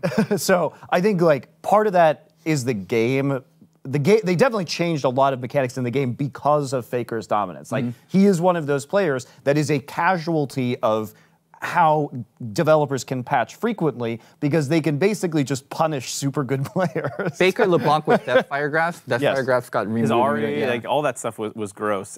I still think he's he's the best mid laner in, in the tournament, but probably best player. thing is, but- he hit a good ex- example though. It's the way the narrative's framed, right? Like the problem here is, I don't even know how people can have the gall to say that line. Like Faker's back, back. You never let him go away. You're always saying he's the best. So what's he back from, guys? You're the ones who said he was. gone. literally back at work. Exactly. Yeah, he was- he Whereas- wasn't at Worlds last. Whereas the real narrative for me with Faker this year is that both times when it's the regular split, he never looks like the best player. Forget even best player in the world. He doesn't look like the best Korean mid laner in the Yeah. splits. But each time he gets to the playoffs, he levels his game up. And as you see at Worlds again, he is back to looking amazing. He obviously had that ridiculous game on Tristana where he looked like he was the best player in the tournament again. Yeah, I mean, th- just how he played it was so amazing. He kept going for like these half roams, and then like would just put so much pressure on the map that no one felt like they could do anything. And it's it's that's always kind of been how he's like his half roaming. He's been doing for years, and it's it's amazing. Which, which was was- impressive because he was playing against a mid laner with teleport and with realm warp Mm-hmm. from Ryze. So you're talking about two mobility spells, and he was still winning the roam war. Yeah. I thought he looked tiny bit awkward with his ultimate usage. The one in top lane where he could have had the kill and he let the the kill go, in- in and then the one where he saved someone by Yeah. ulting. My thing is, Faker always had a corpse as a jungler, like Peanut, Bengi, Blank. He actually has an insane jungler now. I think Clid is the best jungler at the tournament, not Jankos, not Tarzan. I think it, for me, it's Clid. So yeah, the whole narrative about Faker being this like godlike, like like carrying SKT player is just dead for me. He has Clid, he has Teddy. Khan even looks good. He's also just more like what a normal, really good player should be. He's a mid laner, so he does a very good job in the mid lane. And then if you put him in team fights, he does a good job like that. A normal player plays that. It's just you're used to the old Faker who was obviously just transcended the whole game, didn't he? Like in, in the old teams, the whole reason why Loco's saying to the, all these championship junglers, they're all corpses, is because clearly they just did whatever Faker wanted and just went where he was. In this team, it looks a lot more like Clid's entirely self-directed, and actually they kind of follow his in his wake. Yeah, and it, it feels more like I guess 2015 one where, for the most part, everyone's good on the team. 2016, I think it was, where you know you had Wolf. You just a kind of a were the end of the corpse. day, the last days, yeah. so like I think this is a ro- ro- uh, roster with effort, and and Teddy look really good as well. Khan Khan was kind of a question mark, but he's been fine. So I think they, they look really really solid. All And then also you add in Teddy can play Kayle. yeah, not, There we go. not limited to All of a sudden, yeah, they're not only playing the Xayahs of the world or whatever. So, like that, that's actually a pretty significant thing to add in for SK Telecom because if they have that little wrinkle to their game, of course they can win this tournament. I, I want to talk about the SKT RNG game because there was some really. I think people were critical of their draft, but I actually I enjoyed the composition that they had. The problem is I feel like they just didn't play it well until the very end of the game when they were using their mobility. Because remember, they had three teleports. They had on Ezreal, right? You have it on. You have two ports on Twisted Fate, and then you have it on your top lane Rene- Renekton, and they only had it on Mordekaiser. And for me, the issue is if I look at RNG's draft, what they're trying to do is create picks with the Zoe and the Blitzcrank, right? And the way SKT was playing was it was like there would be a hook that would come in, somebody would die, and then they would like react with TF port onto the, the where the play just happened, and somebody would die, and so then they take like a 4v5 and lose instead of applying pressure across the map and playing cross map with all their TPs. So I want to touch on that. RNG comps, the biggest thing they want to do is create picks with Zoe and Blitzcrank. The caster said SKT usually plays their Baron really slow, their first Baron. SKT is just terrible with their first Baron. Whenever they get their first Baron, they do this all the time in Korea. They'll spread out 131, they'll maximize farm, and they'll try to get outer turrets. And that's the last thing you want to do with Baron. Like people have gotten so good at snowballing with Baron. Almost every team that gets Baron will get inhibitor, will get multiple turrets, but SKT likes spreading out and farm.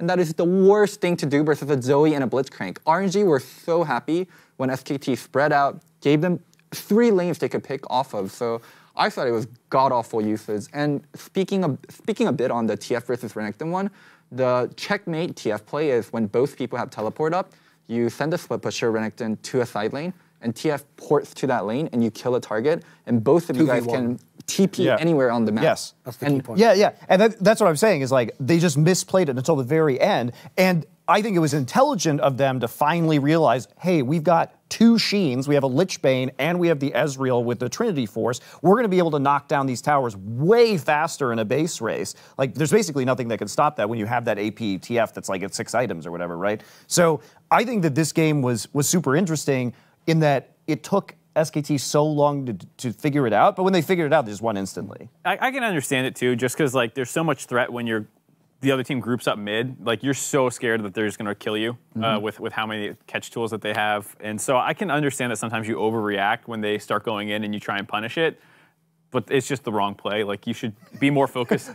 Dude, I just loved it. I love like Ming's hook would come in, somebody would die, and then Faker's like, I'm here now, diving the turret Yeah, like, like- three seconds later. I, I like understand. Like you're like, ah, I'm, something's happening mid. Let's go there. But you have to fight that and hope that you can absorb the pressure mid and do, do other things. I just, I just think like you just you can't react to the faster picks. Yeah. But the, like the weird thing about this composition, which was this game, which was interesting, was it was sort of like what you're talking about, Loco. It was sort of like SKT could p- pull off these cross map picks, but then the local, but they it was slower. Whereas the comp from RNG pulls off cl- like close range picks, but they're much faster. Mm-hmm. So I just felt like SKT was playing into RNG's hands for most of the game. And if they had just executed their win condition earlier, they would have just smashed them. So it was kind of needlessly close. So SKT was bad in execution of their comp, and RNG's top laner was just so god awful. Oh my god. I don't think I've seen a worse Mordekaiser. Like there's so many things you can do as Mordekaiser versus TS. Did you watch Fun Plus?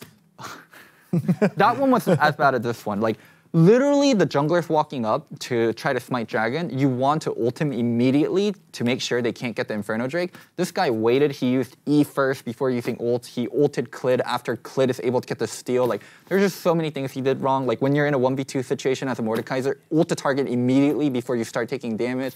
He's not doing any of that. I just it baffles me that this is a pro player playing in one of the hardest leagues and he can play Mordekaiser at this level. Speaking of baffling things, we haven't talked about Group A yet, which obviously has Cloud9 in. Now, I have a question for you. Let's just start this off. Oh, boy. And I was I was going to make it neutral and ask what people thought first, but I'm going to be biased. right?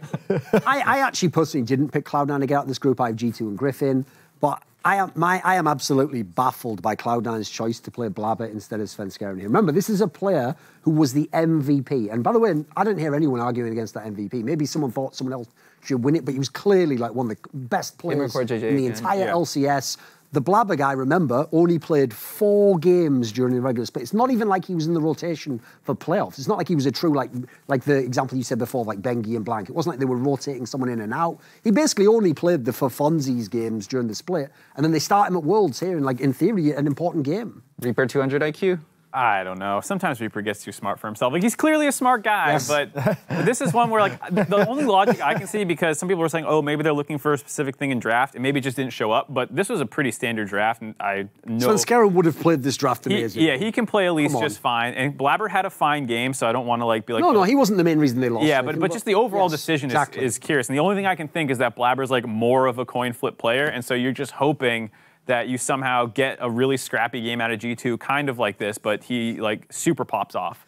Do you really want a scrappy game versus G2? Because I feel like they just mechanically outplay you. And do you want a standard game I versus think- G2? I think as you- Cloud9. Yeah, I think you do want a scrappy game. Looking at like the games in, in the series that Fnatic played, a lot of the times that Fnatic won, it was pretty early on with some devastating, backbreaking like 3v1 plays in the bot lane or something that gave Fnatic a lead, and Fnatic was in, in the EU LCS very good in the early game and would run away with it. So I think maybe they were trying to emulate that idea, and their bot lane just got blown up. I, I don't know. One thing that gets overlooked by G2 or overlooked about G2 is they're actually an incredibly strong standard team. It's Yeah. not like they can Yeah. only play carries. It's not like they can only do. Just perks look at with that game against Griffin. They have so much depth. Yeah, the game They versus did it in Griffin. They looked so too. disciplined. It was amazing. yeah, it was Ornn, Orianna, they're playing standard like 2014, 2015, just full on team fight comps, and they're doing it correctly. So it's really hard to get at G2. Can you play them? Can you match them in terms of like scrappy, mechanical heavy game? That's hard. Can you beat them in macro, like team fight kind of game? That's also really hard. Yeah, I mean, I, I think they were going to lose either way, mm-hmm. but I still would have liked to seen their best foot forward before going for the mix Sure. up. Like I'm fine, like you lose game the first time you play pretty handily, and then I don't know, maybe maybe the, the second game you're like, all right, Blabber, get out there and try something. On the G2 side of things, though, like especially the game they had against Griffin that I alluded to before, So was, good. was like basically like if you'd have taken the nameplates off and asked someone which is the Korean team, you'd think that was SK Telecom. They were playing amazingly. Yes. Like they had the whole game in their grasp the entire time. Like if I'm Griffin, I'm insanely demoralized playing. Now I find out G2 can do that. I- I thought mean, they were just gonna I- wreck me in the early game, you know. I said this earlier this year coming in because, you know, I wasn't watching a lot of League of Legends earlier during the Overwatch League season, but when I saw the European finals in spring, I was I literally just sat there and I was like, this is the best Western team I have ever seen. Like this is a really good team uh, because they were so clean. I was very confident in their, you know, their abilities to win MSI, and we're still seeing that here. Like they are just incredible. Yeah, and that, that MSI group stage, they've had one game versus SKT where it was it was, it was a crazy game, Yes. and everyone wrote it off because it was crazy. And then the next time they played, they just ran it down their throats with the most standard, oppressive, controlling game plan ever. And that's when it was kind of like, okay, yeah, they can play both styles, so you can't just assume that oh yeah we'll pick a scaling comp versus them or something and they'll they'll run out of juice or something Whichever way the meta lands, G2 will be well suited. yeah Are they the best team in the tournament then? Easily. I think so I, I agree. I mean, from what we've seen so far. But again, I from SK Telecom, they've been surprisingly very kill heavy in the, in this tournament so far. Like if we go back to the Korean playoffs, we weren't seeing like that kill a minute stuff, and it's happening a lot with SKT right now. So something tells me that SKT is going to settle down and like have a little bit of a cleaner, more controlled style of play the longer the tournament goes on. Uh, also in a very hard group, to be fair. yeah, Yeah. Uh, G2 obviously starting super strong though, and and looking very dominant. What about on the other side though? Because obviously in that group, people are mainly looking. Everyone thought G2 number one. I don't think I don't think I saw anyone else pick anyone's number one. And then the, the choice comes down to Griffin Cloud9. So what are your thoughts on that at the moment? I actually had Cloud Nine. Um, this game, even though they got absolutely booty blasted, it, they had good moments. Like Licorice looks really good so far. Got the solo Okay, kill okay. on the Yeah. top. And I mean, they had a big lead in top before they threw it away. Right, Sneaky looked terrible, but that was also like the Casio. I don't. Do you think he would look it. better on traditional AD carry versus? Yeah, the same way I don't really like Reckless being reduced to like a moving turret for his Yuumi. I don't really like Sneaky on on this. Like I think he can play mages. We've seen him do it before a little bit, but I don't think that's his strength. The same way I don't. yeah, What's his yeah. strength? Standard AD carry, uh, front to back team fighting for the most part. Like I think that's where he's always shined. And that's how I feel about Reckless too. And yes, they can play the Karmas, and Sneaky played Swain for a little bit, and you can play Garen, but like that's not what you're best at, in my opinion. So I I still have a little bit of hope for Cloud9 because I see positives, and I don't think that this was their best. What about the question here? How worried are you about them? I'm worried, but not quite like Doomsday. Oh. When you have to throw stuff at a wall and see what sticks, and I think that's what Cloud9 did Yeah. versus G2. Yeah, for sure. You're in a bad spot. Just the roster thing to me immediately starts me off on the wrong foot. You know, like what's going on already? Yeah, there's there's definitely a question about like is this motivated by anything behind the scenes? I'm hoping it's just Reaper trying to be 200 IQ and and like it's not a bigger thing. But if they had gone out there and gotten slammed with Sven and like traditional marksman, like maybe I'd be a little bit more concerned. But this was clearly an attempt at something and it, it didn't work. Yeah, but they So- no, almost it did. lost. They almost lost a Hong Kong It did. attitude. The That- 200 IQ draft did work because what he did is, even though he lost the game, Reaper tricked Mark and other people into thinking it's fine because he wouldn't really do that in an important yeah. game. He's, he's doing 200 that 'cause they IQ this can't guy play is. Yeah, versus He's a genius. I He's a genius. I, I I don't know. Like I look You're, at that. you're drinking the Kool-Aid. I'm drinking Kool-Aid I, I, sure. I think I look at that. We're on Hong- a Cloud Nine show, aren't we? I look at that Hong Kong attitude game, and it, gives me all the information I need to know about this team. They had a, such a solid lead early, and then they just a ram and then try and kill this Garen over and over. Like you're not going to kill the Garen. You- He's just going to get chunked out and then get all his HP back while they're trying to force this Baron. And then what? They take that crazy 50 50 I watched Baron. SKT struggle against a Garen Yuumi. I'm not holding it that much against Cloud9. That was Fnatic playing it incredibly well. This Garen Yuumi was he was literally just not on standing by Baron Pit. Fnatic. And That's great. That's all you need to do. You just stand there, you face check, you press W when you get CC'd. No, like I, I think the whole the, this whole game was so wacky because they couldn't play to their win conditions at all, right? Like they're sitting there. Let's, I'm, I'm pulling up right now, um, but as we were looking at this game, like you can't just sit there at the Baron and think that you're going to be able to poke this Garen out, like. It, they were lucky to get that Baron. It was killed by what, a Heimerdinger turret in the end? Yep. Uh, in a true 50 50 after they got Tristana bored. didn't do anything after in the they- fight, got- oh, yes, around. that's right. Mission was just wandering around the outside of the pit, not firing with like a four item Tristana. They had a great early game. Like, they should have lost had- that game. They had a good early game versus, versus G2. I like the early games. it's a best of one situation. They can, they can have a good Look, early game I just say I just say they had a great early game, and this is a this is a must-win game in this group. And they they came in and they get that lead, and then they completely blow it by failing to put actual pressure on the map and just playing poke the poke the invincible Garen forever. I think Yuumi did something like sixty thousand champion damage in that game or something because. They will just lose the poke every time because Yuumi Garen will heal and Yuumi will just blast you. So okay, there's another team in this group, Tom, which is obviously Griffin from Korea. Now, to be fair, a team that came in with quite a lot of criticism, you know. I actually think if you look where they are in their region, one of the most criticised Korean teams we've probably ever had coming into a tournament like this. So, if you look at the moment, certainly hasn't started amazingly against G2. G2 kind of controlled them, won that game. We're always ahead pretty much. What do you think of Griffin? Because I've got to say, similar, similar little rant. What was Griffin doing with their lineup? Griffin just played a whole split with Doran as the, the new top laner they had, showing off the ability to have a carry top laner, to play through all the lanes. Basically, all the old criticisms getting taken away. And then they come to Worlds and they themselves just pull one out where you haven't seen this guy since like the beginning of the summer split. So, what, what do you think of Griffin? I, I yeah, the, the sword thing just baffled me, and then watching him play was terrible. He he had a really bad game. So You're gonna blame that on Sword? no, I'm not blaming the game on sword, but I'm I He just, didn't play well, did he? Let's face. Yeah, like what what did he do? He he like they took mid turret and he ulted on Raptors and sat there as they ran away. It was just like Loco, he, he literally only used the ult for the sound effect. Like, he, was- that he has sick, Spear of didn't it? Shojin. Listen You that. have to Listen to that. That's me. You have to go in and alt and then uh, use autos. You can't alt outside the fight and charge your Fury, then go. You're not like burst Renekton. You, I don't. Okay. I'll, I'll explain what happened in this game a little bit. So Oh, both- thank Th- you. Thanks for being I didn't, I didn't actually Cheers. watch it, so thank God. Right, After that, maybe we'll try a bit of analysis, guys. Man alive. Go on then. Explain, please, Loco, prior to Loco, what happened in this game. I'm in a very lucky position where I speak Korean. cvMax has been extremely vocal because he's also co-streaming what's happening, and also Alright. Grabs will come onto my stream and then he'll talk about little things going on. So they banned Quinn in the game and first pick Renekton. So the kind of the conclusion both G2 and Griffin is arriving at is Renekton plus Elise or Renekton plus Taliyah is able to burst down anything in top lane, and it's an incredibly strong duo. So that's why Renekton's getting first pick and Quinn's getting banned. So the one counter they think can happen is Quinn running cleanse can beat Renekton Taliyah and Renekton Elise. So that's why Quinn's banned out. And their game plan was we're gonna invade initially on top side of the map and place down our wards so we know if they're starting red or not. And then we're gonna late invade again with our trio, with our trinket, and we're gonna be able to kill pretty much whoever's there. So they did that, but one caveat was G2 was able to sneak a ward on chickens with Orianna, so they saw him go race and chickens. So Orianna was able to go and kind of mess with Taliyah doing chickens. And then when she got to double golems, Renekton's able to stack three waves, and Tilly is able to get three camps, hit level three, and dive the top lane and get the kill almost no matter what.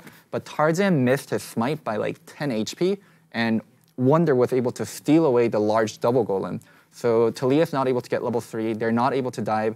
Wunder, the wave doesn't crash properly. Jankos finishes bot side of the camp, and he's able to come top side hmm. and kill him. So their early game plan was really well planned out, but two little things went wrong. Uh, the ward missing and not getting the last hit on double golem with smite. So all their early game plan blew up. And- That's and- why the game looked really weird. And also, like it has to be said, G2 has like an insane scaling comp with Ornn, Orianna, and uh, and the Kai'Sa in there. Yeah, I mean, Yank- Jankos had a great game beyond that, too. He basically kept Tarzan down for most of the rest of the game. Tarzan still found a killer. too. overrated. Maybe. I mean, like you just said, that was a really unfortunate thing that happened. And he still was 3 0 at one point in the game and had some nice pickoffs using his wall and stuff. So I thought he, yeah, he, he kind of got, had an unlucky game. Uh, but I, I didn't feel like Tarzan was the problem. Their bot lane got taken advantage of pretty heavily. I hate Lucian. Please don't wear Lucian. Lucian is like, what, 0 3? And every time we see it, just. Why do people pick Lucian? I don't know. If you don't get Ezreal, Kai'Sa, or Xayah, I think you shouldn't play AD I, I think they want it because it has enough laning presence to not need babysitting. Mm-hmm. And so if you're going for a topside kind of focus like this, it can work. so you go even with Kai'Sa. What happens in mid game? Well, you're supposed to already have snowball top, I think. Mm. And so you're I, that's that's what I'm guessing is is the it's just there for some early game stability in the bot lane if you're not going to give it any attention. But then Yanko still made plays happen bot lane, then covered top, tracked him, nothing happened, and then yeah, you're just getting outscaled. So I'm not too too negative on on Griffin, but I still You still have C9 getting out of the Yeah, group. C9, yeah. I'm not too negative, but they're not going out of group. You have to pick one, Mark. Well, the, the question is this: How about this? What if in the future games Griffin just keeps running sword? Oh, I don't know. It's got to be a possibility, right? I mean, the start of the tournament like that, it'd be one thing. Like a normal Korean approach would be, you know, you play game one with the normal team, and then if that fails, maybe then you bring in a sub as like, you know, to cover for that guy, or whatever. If you start the tournament, in theory, you thought that was a good lineup. You thought that was going to win. Yeah, I mean, maybe they go back to sword. Uh, Doran looked pretty good. They looked like a stud, yeah. Yeah, so I, I wouldn't think they would, but who knows? I mean, IG used Duke for for a game in a best of five. What tilted me the most is their edition of Doran reminds me of like the classic change when uh, KT before Worlds last year brought in Ucal, where all you did is take out the player that was the most criticised, take someone who doesn't have any of the weaknesses, and now give yourself more variety. So, in the same sense, to me, it was a slam dunk to have the Doran guy playing and just have. I would keep Sword as the reserve if Doran, because he's a rookie, just fails completely. You know, like first two games are terrible. Yeah, you bring the rookie, the vet in, then say, right, just stabilise things, please. But the idea that you were doing these drafts, like, I mean, this is ridiculous. Look, why are we picking like carry champions for the guy who isn't the carry player? Remember, the way, for anyone who didn't watch the earlier part of the year, Sword literally made his name on being the guy who you just put on Sion and say the rest of the team will do all the damage. You just play Sion and don't die. Jace was one of his carries that he played, but speaking on this draft, Jace, Lee, Ezreal, Irelia, Nautilus. So cvMax was also talking about this draft um, on his stream. The rationale just killed me. So he's saying, okay, we don't have any kind of engage in this draft. Our engage will be Chovy will stand in front and poke everyone, and then they're gonna have to engage on Chovy, and that's gonna be the engage. Like this is a game plan we do quite often. I'm like, Are you serious? Like that level of execution is expected from That's your like mid the police chief using his own son as the bait to get like the psychopath out. Like, that's your own son, dude. What are you doing? Why is that the plan? It's like 2015 SKT when they would just play trip. They would play all All priority, comps, no all CC, priority, yeah. no CC comps. It's like people stop doing that for a reason. Well, it, it's one of those things where you can do it. It just It- requires so perfect The degree of Yeah. execution is way too high. Like, and he did play amazing. His CS number were crazy. Like he never got caught out. But still, like why is that the ex- mean, that- expectation you're putting onto your players? That draft probably only works versus HK. Uh, I'm maybe it would work versus versus C9, but I would be concerned that like top lane wouldn't. I mean, you're not. Licorice isn't going to pick Sion. He's picking a scrappier matchup, and then if if your Jace falls behind, which no, I'm thinking of the wrong game. Jace fell behind in a different game, but uh, I could absolutely believe that most of the teams in this group are going to like not troll, but like wait, not give this away was much. the game where Jace fell behind, isn't it? Which one is it? The one versus Jace, Sion? what, one The game fifth versus game Jace versus today. Sion. Yeah, the Sion came back to lane. He had a a dagger because he. Oh, yeah, blocked it the is this one, it was is this one, Yeah, yeah, yeah. right. the Jace was actually pretty useless in laning phase, if I remember. It was it wasn't until later in the game, and Chovy. I was mostly Ezreal doing Ezreal yeah, things. yeah, hard, Chovy hard carry mid. Like in a group like this, where all three of you, if you're Cloud9, obviously Griffin or G2, you're all thinking it's just the other two. I could absolutely see teams not trying to reveal everything in the draft against HK. Yeah, That's how they you lose a game. Yeah, but until they can prove they can beat you, you're going to try to think like that's. Well, they Three- did. They three did kills. prove that they're capable of beating C9. Three kills at at you know Level one, They. Level would. one. Cloud9 did everything wrong, they still couldn't win. Yeah, And they proved they are capable of that. fair enough. HK got three, fair enough, three fair enough. kills with think Sion. and and Ezreal burn flash. And Ezreal burn flash, and, and a minute later, Ezreal gets like what was it, a double kill from mid, or maybe just one kill? Is yeah, I don't know. I, I have no faith in HK. They're obviously massive mans, fans of uh, Sneaky's Patreon or something. They're all in the $100 tier. Yeah, Okay, so we didn't address it then. You, you, you hinted at it earlier. Group B was supposed to be the least interesting group in the whole tournament, the FPX won and Splyce, because it was just supposed to be. Well, obviously FPX wins it, Splyce comes second, and you know J Team and GAM can decide between each other who comes third and fourth. That already looks like that's off the table. Like at the moment, listen, it's not as crazy as like anyone can come first, but FPX obviously looks really shaky after that one. Who knows where J like J Team was supposed? So a lot of people were telling me J Team was going to be the worst team in the group. aren't aren't they? They look pretty decent. They beat FPX for a reason. Yeah, they beat FPX because FPX played terrible. They're ju- they're they're eight. I was. I have to say, my mind was blown that FPX was losing team fights against them. Like, They that should lost be where to- they uh, we, be we, talked, we talked about They played game without an you AD were carry. Uh, Yeah. They, they played an AD carry only damage comp without an AD carry. That's that's a problem. Right, and like, if you watch that game and like, what good plays did HKA make? It's like, or excuse me, not HKA, uh, JT make. It was close to zero. Yeah. It was actually just FPX throwing, and then you, they're, they're super, super passive. They're super lane oriented. They don't move around the map, and their team fighting is fine. But you, you're kind of relying on the other team picking bad engages, and then they, they play against GAM. They were basically doing an impression of like Golden Guardians, where the other team has to just int into you and you just kill them if Right, they do. like, you didn't make any of that happen. Like, Right, and- you didn't and- choose for that guy to do that. and they, they, they play GAM and and they lose just because GAM pressed R on Nocturne enough times so they eventually killed them because J Team doesn't do anything. I actually do still think J Team's the worst team in the group. They Are they the worst team in the tournament? I, no, I think That's probably going too far. I say, I'd say HK probably is still. but I, I mean, maybe I'm wrong on J Team, but like. I, I really don't believe in LMS teams in general uh, after the last couple of years, and people. Well, ch- the LMS Ne- teams Neither don't does the apparently circuit. exactly- Some people- some That's people- why they're getting rid of it. Let's flip it then.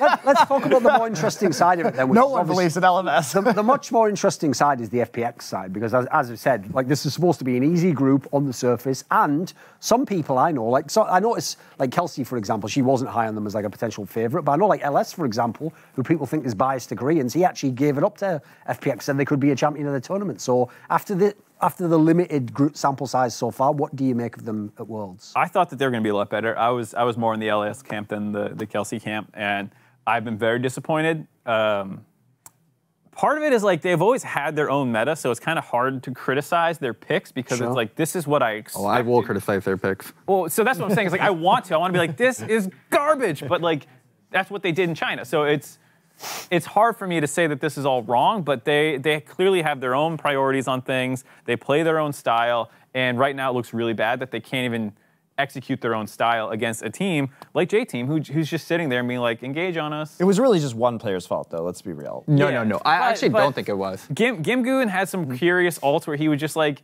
I forget who. There's one in the mid lane where he just ulted someone who ran away and he did nothing the whole fight.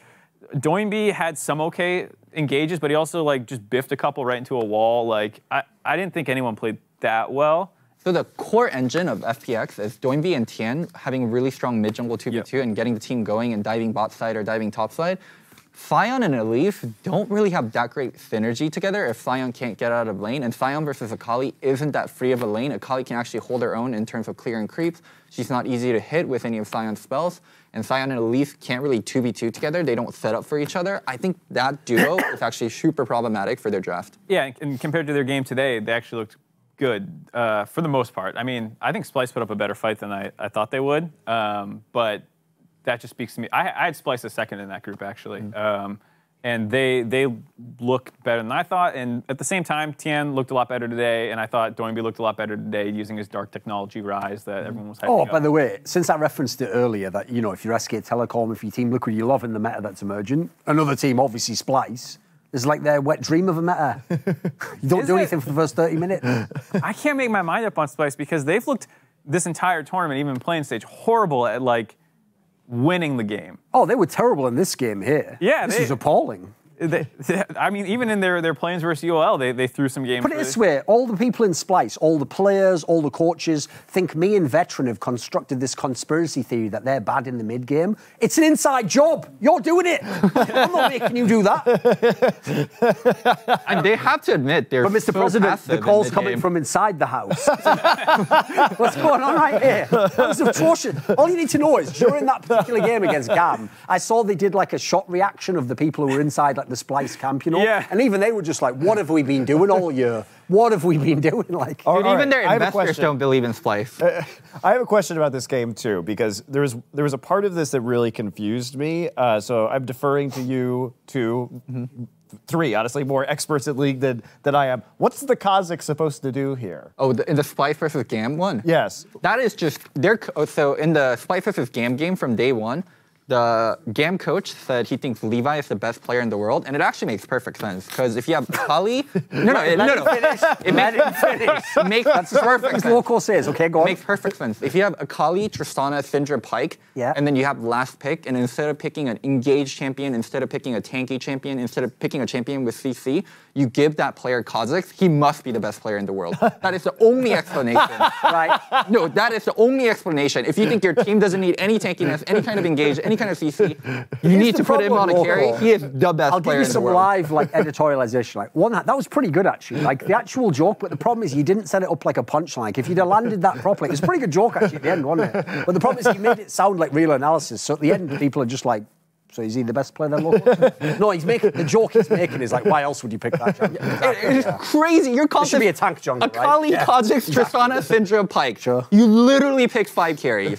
this is solo queue. This is a solo queue draft where the first guy is please pick tank. The second guy is oh I can't please pick tank. The third guy is no you pick tank, and no one ever picks tank. The good thing is, though, you know when you know sometimes in life, one of the reasons why it can be a dilemma when you have a, a choice put in front of you is you'll always wonder, "Ah, what if I'd have taken the, the option I didn't take, though? Luckily, you never have to wonder again. What if that Levi guy just left GAM and he went to different regions and he tried to show us all that really aggressive jungle? LCS, he'd be brilliant in the LCS, wouldn't he? Well, we've seen all that now. He's done a whole world tour where he was like, where in the world is Carmen Sandiego? He was in all these regions, but never on any teams. And now he's back in GAM, like fair play. He just came, like prodigal son has returned in the end with all his wealth and debauchery and his riches. I mean, his time in NA. Good decision for him. I mean, he, It's dead. he I'm left, pretty- it- I'm pretty ever sure that's not how the parable No, of no, the no. prodigal son wasn't. actually ends. Whatever. but, You spend all uh, your dad's money or something. like I'm pretty sure it doesn't end with like the prodigal son coming back with a bunch of money. And, No, no, no. and He spent women. all that. Yeah. Yeah. Yeah. In, in fact, it's uh, he comes back with nothing.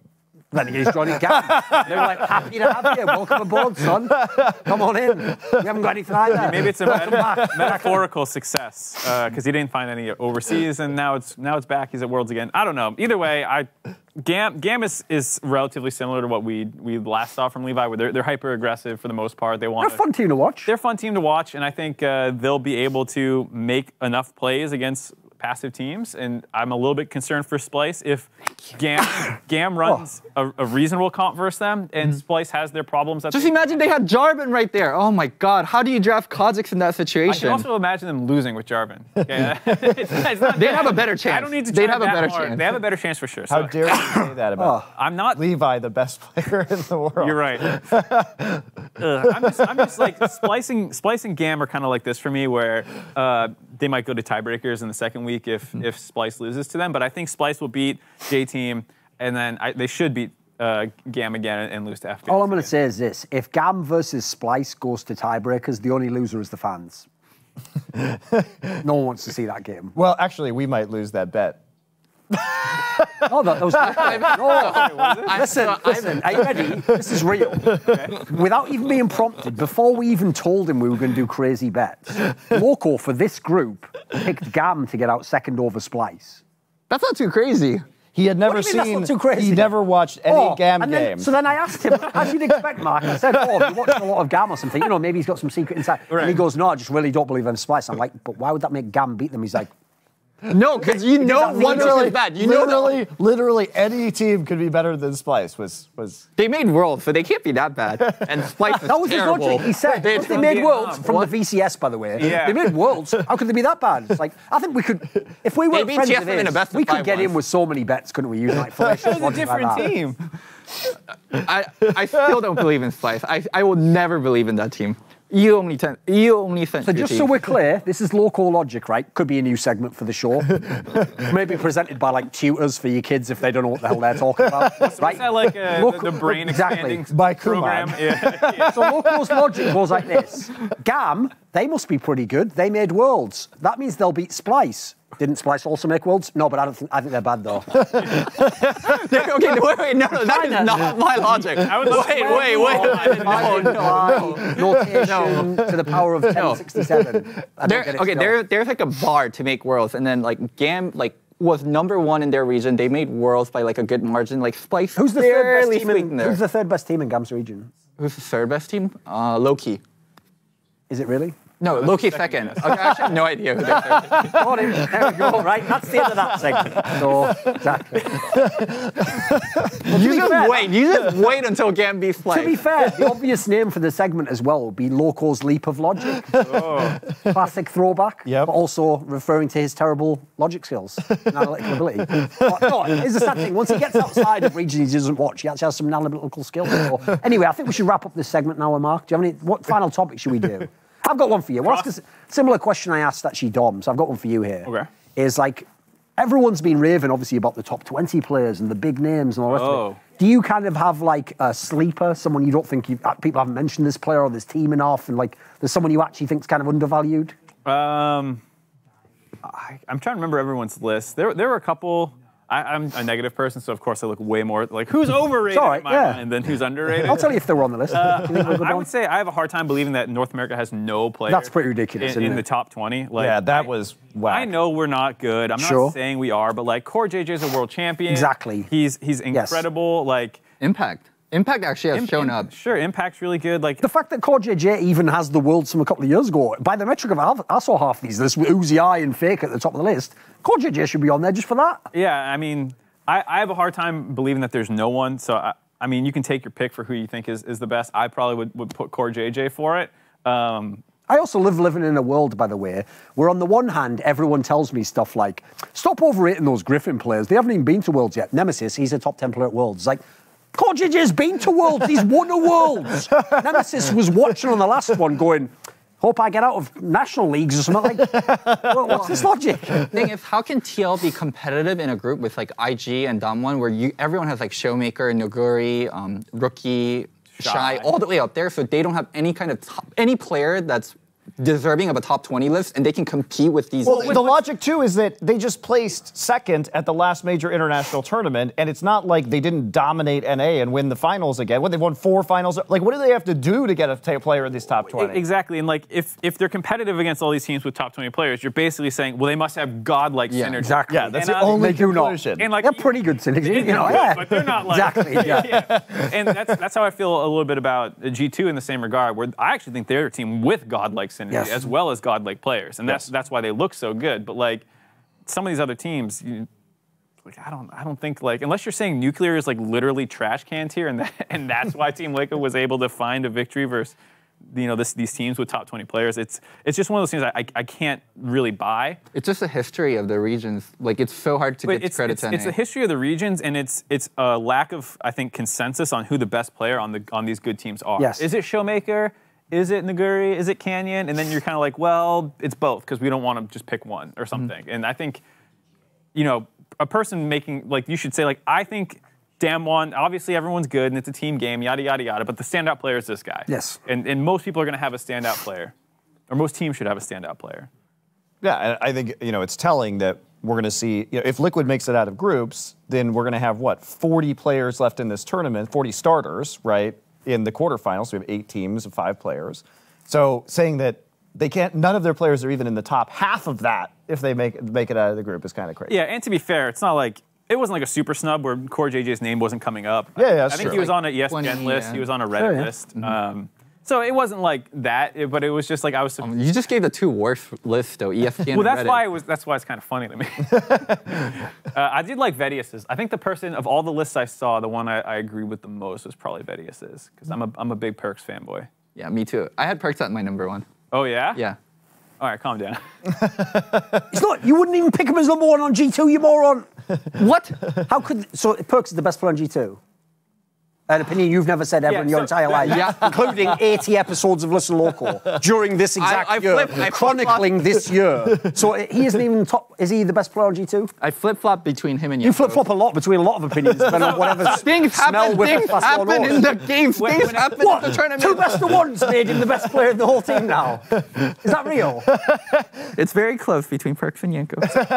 Is there a script writer here trying to make this guy write annoying stuff? Is this real? Is this actually real? I actually, I actually like, love the question of like when you're talking about who's the best player on a team. You know, like performance is one thing, mm-hmm. but if you're taking one player from I'll just drink team, some of this Thorazine. for- fantasy draft, one player from G2, your first, your first pick. Who do you take? There's no way he's taking Perkz. No ah, way. So Perkz has a lot of intangibles. So I can I want to rate him. The You ready? What? What? what? Go on, I'm waiting, go What? on, go on. I, I want to rate him my number one in the top 20 list because I took mental, I took clutchness, I took intangibles. But if I'm like drafting, then that's different because like it's not taking in those intangibles. Why? If he's the best, I can't handle If he's the best player in the world, why would you not take him with your draft pick? what? I would take Faker. You would take Faker number one? Yeah. Wait a minute, did you did you dare, sir? You take Faker. I would take Perkz, sir. Faker? Who is this Faker you speak of? I would take Perkz after the last two beer ones. Yeah, but to be fair, I did ask. Faker, you say? I did ask him The G2. outrage in his voice. Who I- is I- this I did guy? ask him G2. How dare you? How think- dare you? I actually you think- ridiculous human being. I don't think Perkz is that ridiculous as, as, as a pick for, from G2. number one, though, come on. For your first pick out of G out of GT, I don't think it's that bad. He he was he's won titles. Here's my problem. He's won titles on his own. Oh, all the most part. intangibles are great, but here's my problem. As number one, remember, you can have Caps, you can have Yanko. In fact, pretty- basically anyone else is already a god at their position, right? I would probably take I, I would know what I probably mean? take Caps, but but Perkz would probably be my second. Okay, Really? I think it's Jankos or Perkz for me. Jankos number one or Perkz number one? all right. Well, in that case, Jankos is number zero on your list. It's one or two. Okay, Jankos number one or Perkz number two or Perkz number one, Jankos number two. Did you have any other G2 players on the list? Wait, if we're, if we're Oh, overreacting, wait, oh, you, wait, no, I thought it, I thought I was going back to like the draft part. Okay, uh, never if, mind. if we're overreacting to performances, what do you think about Jankos today? Jankos? Probably the best player to ever play League of Legends. The, I don't know. the, the best zero four release that's ever existed. Come on. I think him and Clid have, are making names for being the best jungler at World. I knew Tarzan was overrated before going into the tournament. You just didn't say it. That's weird. No, I said it. I said Clid was the best range jungler. Yeah, you, I you did. Graham was- You did. You, you did say. No, but you, it, I, I told you this secret years ago, and it's, it makes sense. I told him on shows, right? The temptation is when you've got like an, an opinion that's on the line, is to go, I'll just be safe and not say, I'll wait till it happens, then I'll say, you know, I always thought that. I'm definitely that way. I'm, a- I'm a little. I know what you mean, I- I already but I, no. I I, told him this years ago. The problem is, especially in his case, where like people will flame Loco if they want, even if he's right, right? Even if he said something that's like a, a pre, like you can appreciate. Someone might flame him anyway. So I told him there's no actual downside to making your bold prediction if you really believe it, because the person who flames you flames you anyway. But if you like, if he'd have said that a month ago, like I think Tarzan's pretty overrated, you know, and he won't be as good. And if he'd have said like I think Jankos is better, for example, he would get mad props in about a week from now, right? That'd look amazing if someone could pull that up. I said that when I was making my top 20 list. No one watches your content, man. you have to be on the stuff that I'm on. Then, we, then, then I even know you said it. I What, can what remember Thor means You canceled our show, so I couldn't say it on our show anymore. Yeah, true. What, what, Thor, what Thor means is he doesn't watch I your don't watch that content, stuff. Of course Loco, but he is only willing to entertain the opinions that you express directly to his face. Exactly. That's, even that's terrible. that he even even. I sometimes tune out. I can't lie. so, so I want to go back to something we did last episode, which is we talked about which regions we thought were the strongest. And we Right. all said overall we thought LCK, Korea, was going to be the strongest region. Does anybody want to come back on that one at all? Let's ask Mark. What do you think? Because we all came down at the end, like in terms of overall aggregate strength of all three, and taking everything into account, we, we came with LCK as the strongest. Yeah, I was. I was a. I'm an. I'm an LCK fanboy. Always have been. Uh, so I, I probably would agree. It's still a little up in the air because. Hey, they're looking for a caster right now. Yeah. Oh yeah, let's move to Korea. No, no, Pretty good. I like. It's better than LA. I don't know. I really like doing nothing. LA's great for that. Um, but I would say. Well, you'll have Worlds off still. Uh, You know, they still operate the Highlander principle, right? Only one is allowed to come from LCK every year to, to Worlds. The others all have to stay in obscurity because they're just plebs who cast a tiny little Korean league. Nothing. Nothing cool ever. Exactly, no. Why would it? All right, I, I would have had probably LCK, LPL, LEC, E and then NA. Um, I, I might flip flop LPL in LCK. Uh, it really depends how bad FPX actually is. Yeah, uh, well, I mean, right now you can't do that though. Like, if anything, I wouldn't do it yet. If anything, LPL's been well. Okay, that's not fair. I didn't have high expectations of IG given their recent So that- I- performance. I was low on they, IG they're too. they're overperforming my expectations, but FunPlus Phoenix definitely like underperforming. Yeah, but I'd also say even like RNG, even in the game they lost to SKT, they look fairly Yeah, yeah, yeah. decent. So I would say like on aggregate, LPL's maybe even a tiny bit stronger on aggregate. I agree, they've lost their potential champion, which is supposed to be FPX. That sucks if you want to evaluate. I, I mean, we're only a couple games in, so they could definitely bounce back. They have to If do a lot to turn that around, though, There, there's a yeah. I mean, if if Phoenix starts looking good, then we're in a position where we might say LPL is the strongest region because of the of IG arguably overperforming. Right. I think both those regions have a really good chance of having all three teams get out. Europe has a really dark horse outside chance in my mind. No Uh, way. No. I, yeah, I don't. I don't believe it, but like Fnatic's theoretically, sure. Fnatic can, can come back. Whatever. They did it before. They came back from what was it, zero three? Yeah, Yeah. so never been done before. Wait, Yeah. I think it might have actually been a zero four even. Maybe it was zero four. I forget. 0-4 either, either way, like I'm not going to count Fnatic out. Anything can happen, but um, yeah. And then TL or excuse me, North America is basically one to two teams at best, potentially zero. So yeah, that'd be my that'd be my my region ranking. Yep, no disagreements there. Prob I I think LCK strong number one, and then LPL strong number two. I think I'm pretty fed on those two. Well, and two. and uh, LEC has the best team in the world too. So like you know if you if I was a They're European raising the average. Yeah, if I was the European fan, I'd be like, I don't care. I'd, I want the one number one team, and who cares if I have two monkeys for, for the other two teams? Yeah, but that's what tilts me about that whole topic of G2. And remember, it was initially people claiming it was Europeans doing this. It's mainly, as far as I can tell, everyone in the West, they- even Western fans of North America think Fnatic was going to be really good. Like, I thought log- they were gonna be the- good. Yeah, but the problem with the logic they're applying is it's like if if, if we bring in a, a fifth seat here and Bill Gates sits down and then we go, well, on average, we all make about 700 million a year. It's like, yeah, because he makes like 900 billion of it. doesn't? Like, Yeah. the average is being so skewed, it's, ridiculous. it's almost a worthless statement at that point in time, isn't it? And, and yeah, they, they, they had some. They, you know, You know. two best of fives versus G2 can't be completely discounted. No, no, of course not. But don't MMA math me. You did Do lose not. both of them at the You same did, you time. did know, lose, and some of those games were like 18 minute, 22 Exactly, minute games. yes. You know, like they were pretty brutal sometimes.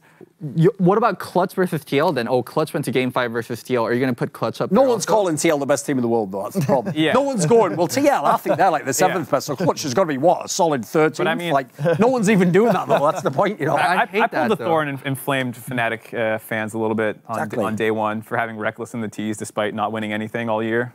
But that was that was just me. What I hate about the whole G2 Fnatic, they went into two best of fives, they went to game five argument is as you play a team over and over again, you get better versus that team over. Yes, you get familiar with, with what they do. Yeah, so I think Fnatic is really good at playing versus G2, but that doesn't mean it translates like one to one that they're going to be as good playing versus rest of the field. Every team has such different style at this world also. And there's also the fact that, like, speaking of teams loving this particular meta, I don't think Fnatic's loving this meta at all. Like, that stat where they had, like, you know, far and away the best first bloods of every team in the tournament, that's not going to help you that much necessarily now with these comps. Yeah, and I, I still like I'm still kind of waiting for the foot to drop before I'm officially like, yeah, Fnatic's Sure. always been overrated. It's like I still I, I loved how SKT invaded them at level one and like turned their own their own tricks against them. That was super fun. and it wasn't even like that amazing because because Clid got no help. He was really far behind. He didn't get the smite. Mm-hmm. Um, it was one of those those invades where it was like, eh, it was it was okay for for for SKT. I mean, it started that crazy Faker snowball. So It did help Faker out a lot.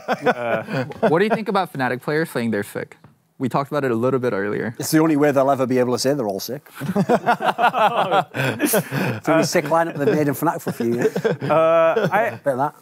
I feel bad for them if it's true. You know, you can't really because you don't know. Like I, I can't read Weibo. I, don't I don't know like what's happening with with FPX. Maybe they're all vomiting every night, and I don't know. I can't read it unless someone translates it and gives it to me. I'm not. I don't have that. I, I always think it's weird when an analyst or a commentator, someone has an inside track to one team's logic. Because we don't know the rest exactly. Right, and you use Yes. that to justify Yep. failures and shortcomings because, like, well, what happened and what they were thinking was this. Like you were you were doing a little bit earlier with um, Griffin. Griffin is is like, yeah, that's true. Maybe they had a plan that they thought was going to work really well, and, and, and it just didn't. That's true with every team that that loses. They had a plan that didn't work, and that's why I try to avoid generally getting in. Like it, it does give great because it gives you an excuse for one team, but not an excuse for their right. opponent. And I think it's great context to have, but I, I always try and try and avoid You just can't quantify it as well. right. I just You don't want to use it. I, it's like, hey, Take it into account if you can, but yeah, exactly. Also, teams teams like overstate or lie about crap all Of the time because you know they're, they'll be like, well, let's find an excuse so that the fans don't insult us on Twitter. yeah, this this matchup's 90-10 aside for when you get ganked once. And it's like, oh, the real answer probably is, wasn't a you good know, draft then, dude. The real answer is what do you think of the fact that some of the Fnatic players are apparently sick? Right, zoom in on me. This is the tiniest violin in the world. No, no, no, no, no, no, no, no. It's a very haunting song. Makes you wonder what if they brought the best player. No, no, no, no, no, no, no, no. Vegas was screwed over. Who cares? That's the answer. Who cares? Yeah, brilliant, great. Win while you're sick, and then it'll be an amazing documentary feature. There you go. That's the answer. I guess we got our answer. Yeah, I don't know. I, I wish they weren't sick. I, I hate. Sucks. Ex- I mean, I hate excuses like that because if you're sick, you're sick. Like, and it's not like you randomly get sick, right? Like, it's not like you flip a coin ten times. And Was it then the if- government?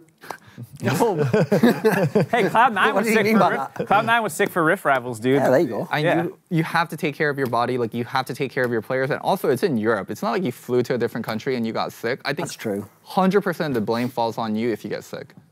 All right. To be fair, a bunch of Cloud9 players come from Europe as well. Oh, I was, oh, wait, we're talking about Fnatic, never mind again. Yeah. I think that's the end of that segment. Yeah. let's, do, let's do one. Let's do one more before Mark goes. Okay. is- uh, uh, this should be shorter. What is what's the biggest surprise we've had for the tournament so far? Oh, I'll go first. FPX sucks. Yeah. Wait a minute, surely it's J Team beat FPX. Isn't that a big surprise? Same principle, but Yeah. you know, yeah, that's a pretty big surprise, right? Do we have to do different ones? You could do that one. No, that's too easy. Let me, let me think of another one. It's kind of hard. I mean, I- I'm gonna- Loco I'm picks gonna- Perkz as the best player in the entire world. Team- but Team what Liquid if beating given a choice Damwon? would pick him know. 700th in a draft? I don't know. Yeah, I guess there really isn't that many so far. I think FPX sucks is a big one. Griffin looks shaky is not a big one for me, but maybe for other people it can be. Like people thought Griffin was potentially a best, like a number one team coming into Worlds. I'll tell you one I think's a real one. It wasn't for me. This wasn't my. I had them coming third, but I saw a lot of people talking as though Damwon's a favourite for the tournament. Like a lot of people had them to win this group. I had them I'll, to I'll man, I'll man up for that one. potentially did be a team. You know, if they get the right bracket draw, they can win the whole tournament. Like, listen, it's not off the table, but from the way they've played thus far, I definitely would bet against it pretty heavily. Okay, so I wouldn't say I, I thought they were a favorite to win the tournament, but I definitely thought they were a top five-ish team and should get out of groups Sure. and probably win a best of if, if they get out number one. I, I had them getting out number one. Oh, little, little, little hesitant on that, but they did beat IG, so it's still it's still in play. I think. A big surprise for me is Kayle OP kind of because people were talking about how fast the meta was going to be and like it's going to be all these like incredibly fast tempo teams playing versus each other all these like scaling teams like SKT TL might struggle and then Kayle is a pick that's getting constantly banned out so yeah the meta being slow and Kayle being an OP pick I wonder how much of the slow meta has to do with how many like good pushing slash control champions there are. Like Tristana is one of the best picks in the meta, but she's not really like a play like really hyphy playmaker, quite like Sylas, Akali, Aatrox was last Worlds. She pushes, she takes turret, she's really annoying. It's hard to gank her, she's super safe. So when champions like that are in the meta, it's not necessary because she doesn't want to scrap, she wants to push. And that can sometimes slow the game down in a sense. So may, maybe it's like that. Kayle wants to scale, she's also one of the best in the meta. It only takes a couple of picks before Nice like slogan there. Kayle wants to scale. Yeah, I planned that. uh, but but it only takes a couple. Like if you have like five picks in the meta who aren't that aggro, like GP as, is another one. You know, suddenly you're not that scrappy. Yeah, we're seeing a little bit of Orianna also from team. Yep, and, and you, you put a couple of these together, and then suddenly everyone's playing slower games. It's because if you use GP, you're not scrappy, but you are scraping the bottom of the barrel. Fair play. I'll be here Fair all week. play. So. Wordplay. Listen, if if Phreak can get away with garbage puns for about 10 years and you're all giving him like the Nobel Peace Prize, I should get something, right? Mine are at least funny. And I'm just based around one item that no one even uses except on Uday. And Ezra. Trinity Force. Just in case anyone really didn't know. how to- Innovating Locket. Exactly. Yeah, exactly. I miss innovating a lot. Yeah. Oh, I, I think for me coming in, it was the biggest surprise was Liquid's performance against AHQ. Like, I was really, I I, was told ya. appalled by that. Liquid play to the level of their opponent. I So was guess what? When the opponent's by that. terrible, buckle up. I've seen him in the LCS. mate. They'll win, but by the smallest margin. yeah. I think the player that applies to that most to is Jensen. I think Jensen can match up versus the best mids in the world, and then you get games like the AHQ game. He, he's really volatile, and I think he's someone who hasn't ever really gotten his due. Yeah, I mean, people have been like, oh, he's the second best mid in North America, but, but he had a split where he led the league. This is when they had best of threes. He led the league by 50 kills.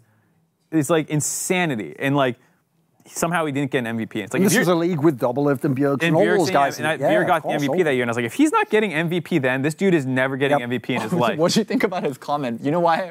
Maybe I would have been on top 20 list if I That changed my name to Bjerg. That was just funny. I would have put Jensen on the top 20 list, but I would say he's a competent mid laner. He, he dumpster Crown, dumpster Kuro, dumpster Xiaohu all last year uh, at Worlds. He sometimes gets dumpstered by rookie and caps, but he's also beaten them up once or twice as well. So I think, you know, he, he's like a step or two below truly, truly top, you know, A plus mid What, laners. what he's everyone, what everyone I think's forgetting is because he had his own lag with his domestic career for so long, he didn't Yeah. win any championships. till He this can't- year. He's now won two. So add that to the already amazing international record. He's got a complete Yeah, career out, now. out- out of groups, out of groups Yeah. three years in a row, made semis once. Yeah, I mean, like Final of MSI. This is a ridiculous career Pe- now. People remember the bad. They remember him getting clapped by Faker. They remember his his shaky hands and, and getting killed by Bjergsen, you know, but they, they don't remember it like he's actually also had a ton of high moments too. And he's always gotten outshined by his teammates in terms of not gameplay, in terms of like name. Yeah. Like Jensen and Sneaky, Sneaky's gonna get the spotlight. Well, and then he has these Orianna games where like everything I'm saying sounds like complete garbage. Like this is probably the worst day I had to, like, to pick the- my battle. This is the worst time, but it's I mean, he did have like a really good LeBlanc lane. yeah, he had a, he, he, he beat great. Showmaker, who people were saying was Everyone was raving about that guy. yeah top course, 20 in the world, and he had a really good game versus him. All right. Well, I think it's going to about wrap up our Cloud Connections presented by AT&T. Mr. MarkZ, where, where can they me. where can they find you? uh, at the MarkZ at Twitter. It's basically all I'm doing right now. My YouTube channel's dead. I'm too lazy to do anything. Uh, I just show up on other people's content. Uh, so, you got your own content too. What's your show? oh well, I do Hotline League with Travis, but that's technically on his Twitch channel. So I guess I'll plug it. Twitch.tv slash Travis Gafford. We'll be doing an episode tomorrow Very after good. the games. If anyone wants to tune in, call in show. That's great. We're gonna. I heard you guys we're gonna- him we're- earlier. We're gonna steal. Yes. I yes. There'll be more of that, I- don't I worry. Yeah, that. there, It there, was there are great. tons, tons of that. Every now and then we'll touch on that. Yeah, and you know we've got to steal your show concept here in a few minutes. to Ooh. talk to the plebs as well. So. Nice. just that's what we did. Like we, we were really lazy about coming up with content, so we just sourced it. We don't need to, you know, have these sheets. We don't plan anything. Isn't that basically We don't what plan anything do? either. Like you did Blame Game. I'm like, I'm just gonna look at Reddit and I'm gonna talk about Reddit content. Yeah, but that was work because I had to watch the games, read the Reddit comment, rewatch the games from the Reddit comments perspective, cut them, highlight them, record myself Wait, over you didn't all have that. an editor. No, I did all of it, and then I had to put all the effects on it. This is the opposite. This is just call into my show and I'll tell you you're wrong. To be fair, I did enjoy those videos where you flamed Reddit. Yeah, they were they were they were a lot of fun, but I've given up on that. All right. Well, thanks for coming on, Mark. Yeah, thanks for Been having me. Great. I'm sorry you're not at Worlds Me on the too. desk, but we're glad I'll to have live, you yeah. here instead. So we're going to look at C9 in a flash, and then we'll be taking pleb calls after this.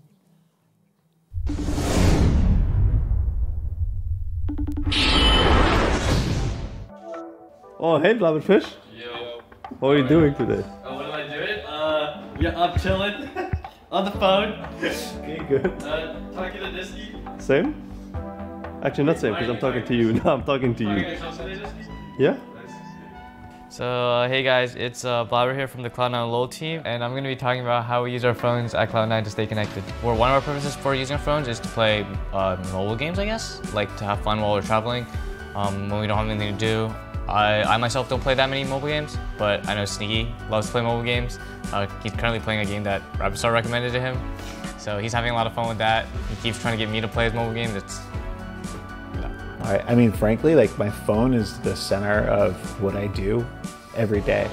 From waking up in the morning, figuring out what the weather is, to you know, what clothes I need to wear, um, telling you know, I pick up my phone, tell tell my players, yeah, let's go have breakfast.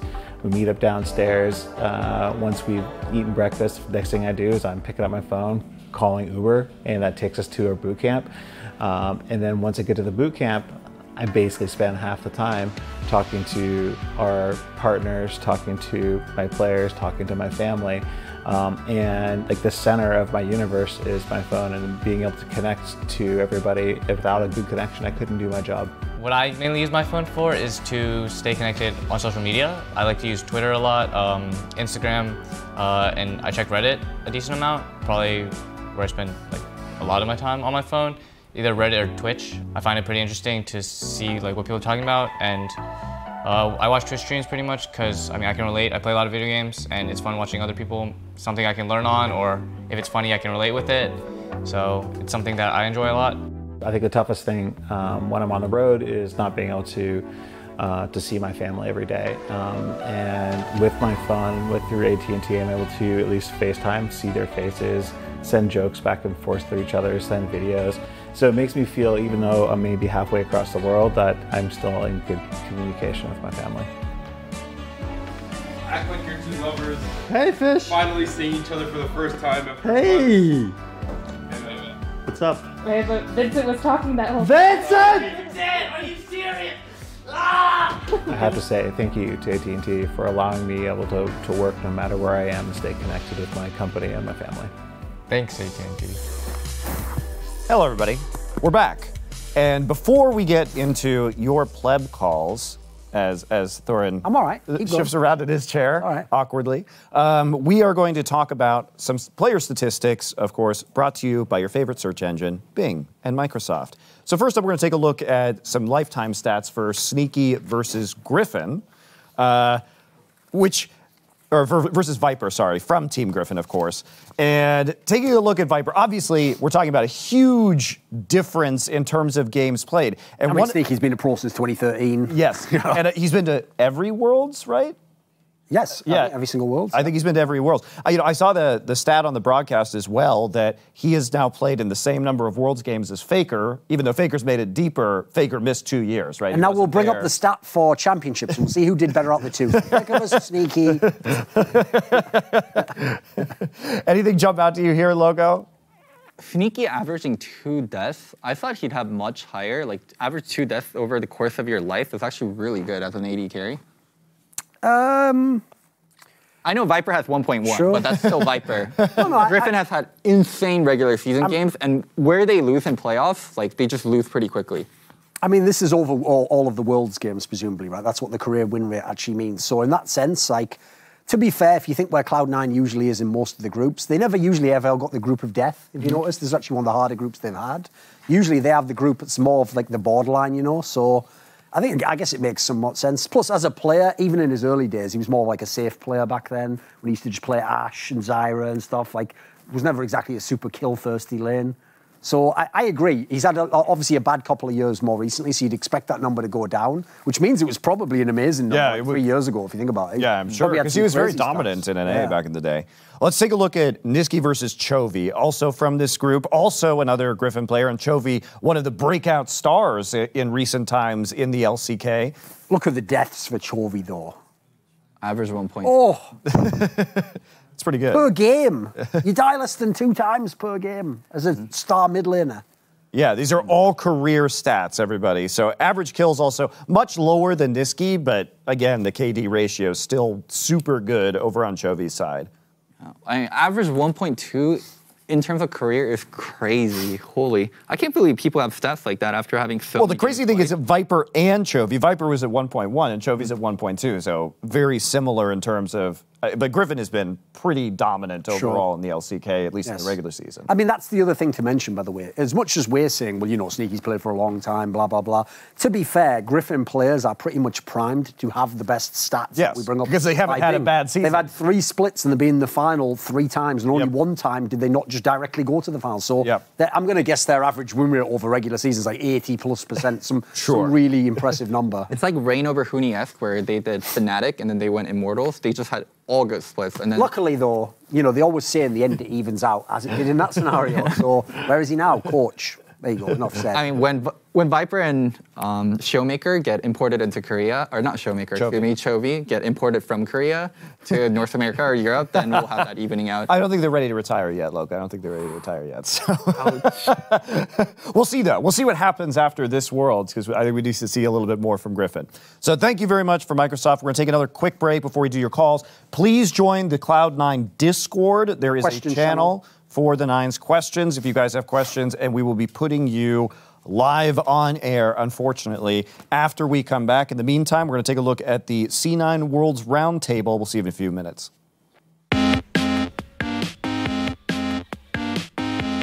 Fnatic is Hon- stronger. honestly, I would say SKT RNG still. Really? Yeah. Oh, Over I think Fnatic? Fnatic's good. I think they're really good, but. I think SKT RNG is better. I'd say Fnatic makes it out 100%. Really? 100%? I feel like they're gonna make it maybe even They're good. over SKT and RNG. Like they're gonna be first. No, I, I think SKT is gonna finish first in their group. Really? I mean, just saying, like, I know how strong Damwon is, and they couldn't beat SKT. So, like, I'm going with SKT going first out of the group. Don't you also know how strong Fnatic is? Oh yeah, but like, you know, just in comparison, I'm going with SKT.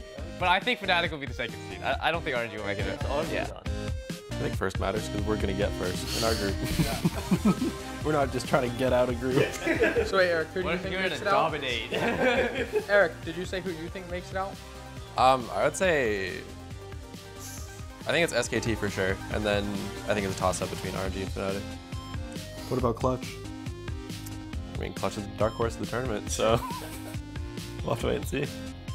There's a lot of NA dark horses. Blaber says Cloud9's a dark horse. No, I did TL. I did TL. I said TL's the dark horse. Cloud, Cloud9's the favorite. Cloud9's the permanent dark horse. they always show up to Worlds. It's like, yeah, they're like, somehow we're gonna get out of groups, maybe. no, it's like the first three games, like, damn, Cloud9's looking kind of bad. Actually, uh, they started 3-0. yeah, that's the only time they didn't make it out. Yeah, when we started 3-0, that was the only time we didn't make it So out. we don't want to go 3-0. We don't want to dominate too hard right away. we want we want to save our domination. I can't lie, I don't know all of the world songs. I don't know Worlds Collide. Worlds Collide is a shit one. Can we can we listen to Worlds Collide right now? Wait. Yeah, Legends Worlds, Never Die is Worlds the Collide is the shit one. Wait, where's KDA? That's not a world song. It, it got released during Worlds, but it's not a world song. That one's my favorite. Okay. Just say the best. Yeah, like best and worst, probably. The best one is. I feel like most people will agree that, or will say that Warriors was probably the best. Wait, really? I, I really like Warriors. Disagree. Ooh. I, I like. I probably like Rise. I don't know. I mean, the, I don't know. The, the music video was really cool, and I hope they keep doing it. Wait, was that the one where Uzi was vain? Yeah. Like, just it adds a Actually, lot to the I, atmosphere. I like the video, but I don't like the song. I'd say Warriors. the best Warriors is a better but song, If I you think so, consider the video, the video was good. Are you, are you guys serious? Legends Never Die. Legends is Never so Die good. has to be the best, yeah. Wait, and then what? KDA is definitely second. Yeah, I'd put, I'd put that one second. Legends Never Die. Legends Never Die I, I think it's first. Yeah. I really don't remember half of these songs. Because before Blabber was born. I remember, You I remember it you? Rise. Do you remember Legends Never Le- Die? Legends Never Died. Okay. The other three, I don't really remember. Warriors, It, uh, it's because they're like too far away, you know. okay, what about what about worst song? Worlds Collide 2015. what is Worlds Collide? I feel like it has to be a bad one Yeah, because like, I don't I remember. don't remember. Yeah, that's the one I don't remember as well. Ignite when it came out was like really edgy. Oh, everyone hated Ignite at first, and then it was like slowly getting more people to like it, I guess. Yeah. I mean, it just it just blue balls you the whole time with the drops. Nisqy, you really need to fill Blabber in on what it sounds like. I think you have to I sing really. it. What does Legends Never Die sound like? No, he knows Yeah, I, you gotta sing for us. Sorry, this, I'm gonna need some singing. I'm starting to think you don't even know what the sound song's like. I do. Oh yeah, sure. sure you. If you think it's your best, then you should be able to sing it. I'm not gonna sing. Oh, he's like, Oh, that one. Oh my god. Th- th- now I remember because you just said the title of the song. Never man. You, you didn't even say the second sign, the second line. Oh, I, um. They become a part of you. That's what it is. Oh, really? Yeah. Oh, okay. We weren't even a part of last year though. We have to be a part of this year. Yeah, I this mean, year we made we're top part of it. four. Yeah, Yes, yeah. we were about. We, we, I'm hoping that video. it's a video and that we're we actually play a major part in it this I don't think we will, because it's going to be IG's path. Remember? I, I feel like Fnatic will There was be in ambition a taking lot. down all the teams he fought, but IG didn't face us. So we're just not in it again. That would suck. That would just really Fnatic suck. just like clapping us or some shit. but now just beating us up in the background. Fnatic fly swats us, and then IG comes along Oh, with a bigger shit. fly swatter just. Bwipo is just gonna be in there. Oh god. oh, the Bwipo face. Bwipo versus Licorice. the Yikes. Bwipo face in the background. There's no video, which is Bwipo's face. Welcome back. This is the most unpleasant part of the show where we talk to plebs and answer your pleb questions. But we're glad we're in a more EU friendly time zone now, so you don't have to stay up until 5 a.m. maybe. So, first up, if you guys want to ask questions, you can come into the C9 Discord. You'll be screened throughout the show. That's why we do this last. Be screened. You will be screened. Uh, we are the, you know, we have the TSA there to make sure that there aren't going to be anybody getting into these calls we won't want there. And actually, we have Ace, who I know from Discord well. So we're going to get him onto the show with your question. What's up, Ace? How's it going, man? Good, thanks. And you? Good. Nice to hear your voice. What question do you have for us today, buddy? So Don't I'm a just laugh at. Fnatic Keep fan. Keep going. So I'm a Fnatic fan, and uh, I'm wondering. Con- uh, is is Broxah the weakest link of Fnatic? Is it his hero pool or general impact? Okay. What are you guys' thoughts? Well, well, before we answer, what, what do you actually think on that? Do you have a take on that? Uh, I think it's, he's definitely been off the first two games. Like, you know, he's not his usual self. Again, he is sick, but seems to be something a bit more deeper. Okay. Like hmm. local, we, we've obviously had this discussion a 1000000 hmm. times on our show, the whole Brox and Fnatic thing. It's one of the most famous narratives around Fnatic this year. So at this point in time, at Worlds, after a couple of games, where do you come down on it? Like, is, is Brox a, a, a one of the, one- like, there has to be some weak points to Fnatic. Every team has them. So is Brox a one of them? Well, the thing is, when Broxah looks good, or it's when Fnatic as a team looks good, when Broxah, Hylissang, Nemesis, three of them can work together, and he gets none of the credit. Almost all the credit goes to Hylissang, and when it doesn't work, almost all the blame goes to Broxah, right? so I would want to see Broxah in different team and different environments and see how he can do when he's given a more of a free leash, because yeah, that's our narrative. Like, does Fnatic have a system? Who benefits most from the system? It's usually the jungler, so that's where points are taken off from Broxah, but I think he is a hard player to judge. My gut feeling says, like, if you had this kind of success over these years, and you can also prove yourself mechanically, like, this guy can't be stupid. Like, I know the meme is like Broxah and that hor- the orc, like the orc Okay, emoji, right. like Broxah smash, like he's a stupid jungler. But I just don't buy into that. I don't think Broxah's the weak link. If I have to point out anyone, it would probably be Rekkles or Bwipo. I think Rekkles and Bwipo play very one-dimensionally, and they also benefit from playing in a team like Fnatic where everyone has such defined roles. Isn't the strength too of Fnatic, and obviously I know what I've seen from the European playoffs, and I know what I've seen from Worlds so far. But isn't isn't the main narrative that they're an excellent roaming unit, like you're saying with Hylissang and Broxah together? So isn't it a little bit more difficult to evaluate the individual strengths? Like Broxah hasn't looked amazing to me, but I wouldn't say he's necessarily like a huge The big problem with this is a lot of people don't actually know where the narrative about Broxton not being that sick a jungler comes from. They think it just comes from Caps leaving Fnatic, Fnatic not being the best, and people trying to find a way to hate on Fnatic. What they ignore is you can go back to my shows like the narrative Wake tries to do with Kelsey two years ago, and way before they even had like Caps in his prime, that used to be the narrative that the analysts used to tell me there was like Brox is a good player, but in that Fnatic, you know, he wins because he has three winning lanes and he just farms up, and he wasn't even necessarily like a pressure jungler or the guy who invades the opponent. He was kind of like in the dream scenario for a rookie jungler, you know, like exactly the sort of team you'd want to be on where you can look good in your good games and in the other games you just chill.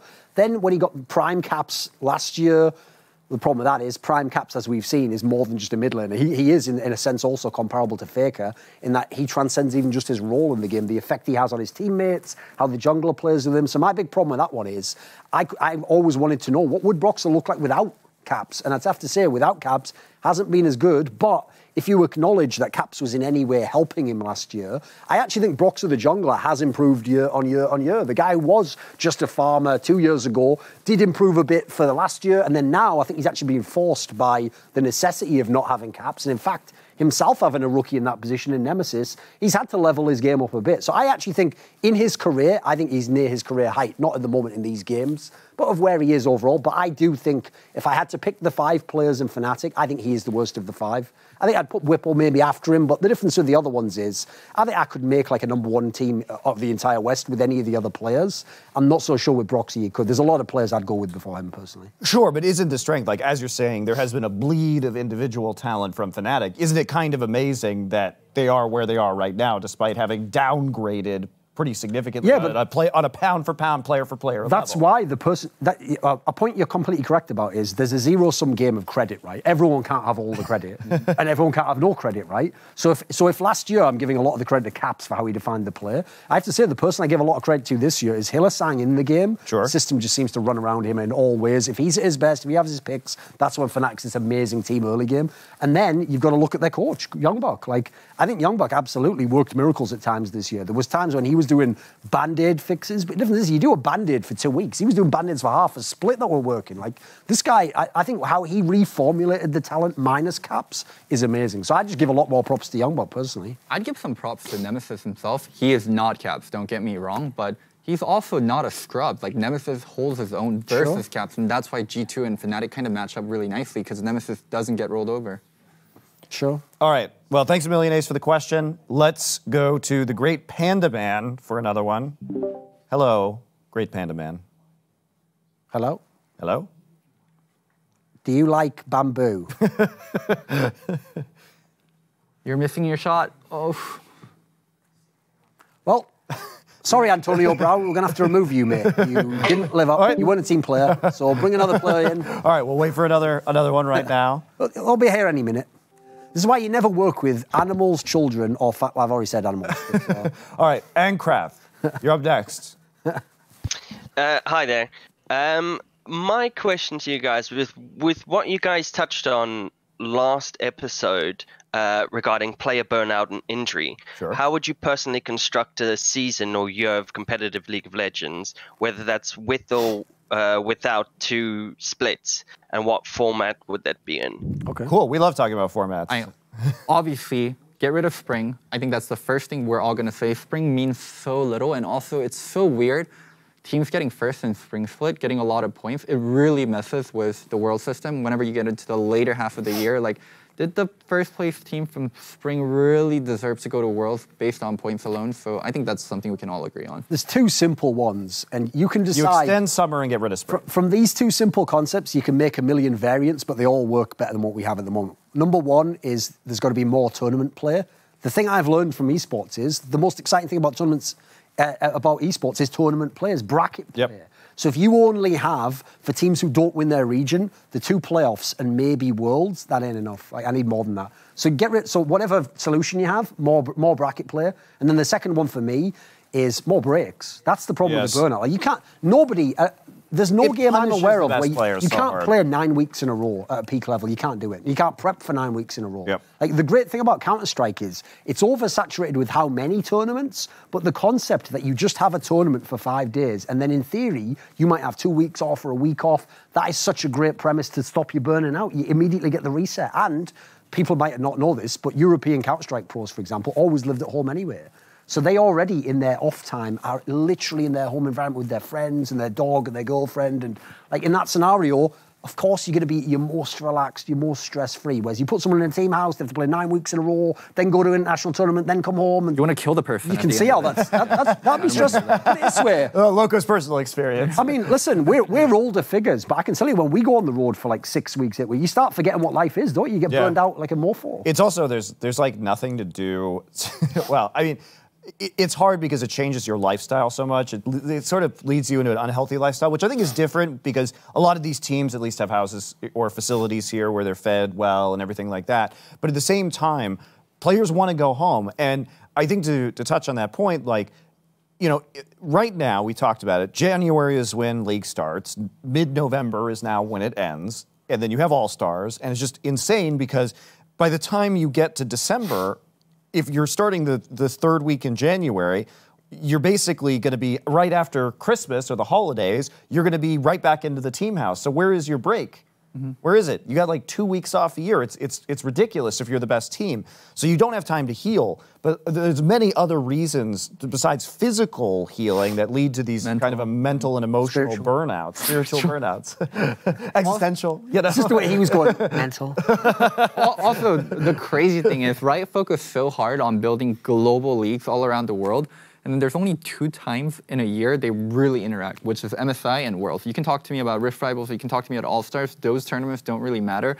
But what's the point of building all these global leagues if you're only going to have to interact twice well, a year? It, the problem is, is that interacting like 14 leagues or however many they have can only mm-hmm. really happen logistically twice a year because it's just too vast of, a, of an experience. But I think that if you started, let's say, if you collapse, you keep MSI, right? You keep it in the middle of summer. You collapse it into, uh, you collapse the, the spring and summer splits together. And let's say you start in April as opposed to November. So, and what I will say too is to, to touch on Thorin's point is that in Overwatch League, one of the things that that we've done has been even though we run a league, so your record matters.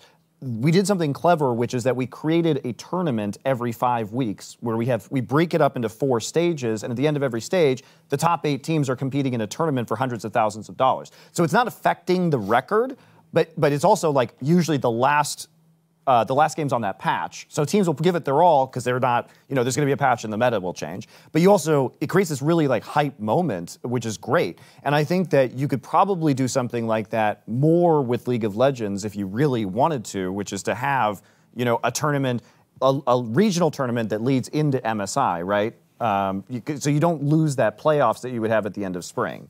I like the idea of like minor tournament, minor tournament, minor tournament, mega tournament at the end. Like keep Worlds what it is. It is Yeah. the most exciting time Except of the year. change it to double elimination bracket. Yeah, I- all- all that good stuff. And fix all the format there too. Mm-hmm. All the stuff they'll never do. Yeah. All right, great Panda Man. You want another chance at this, huh? All right, what do you got? Oh, Wait a second, wait a second. Panda Man, what's up?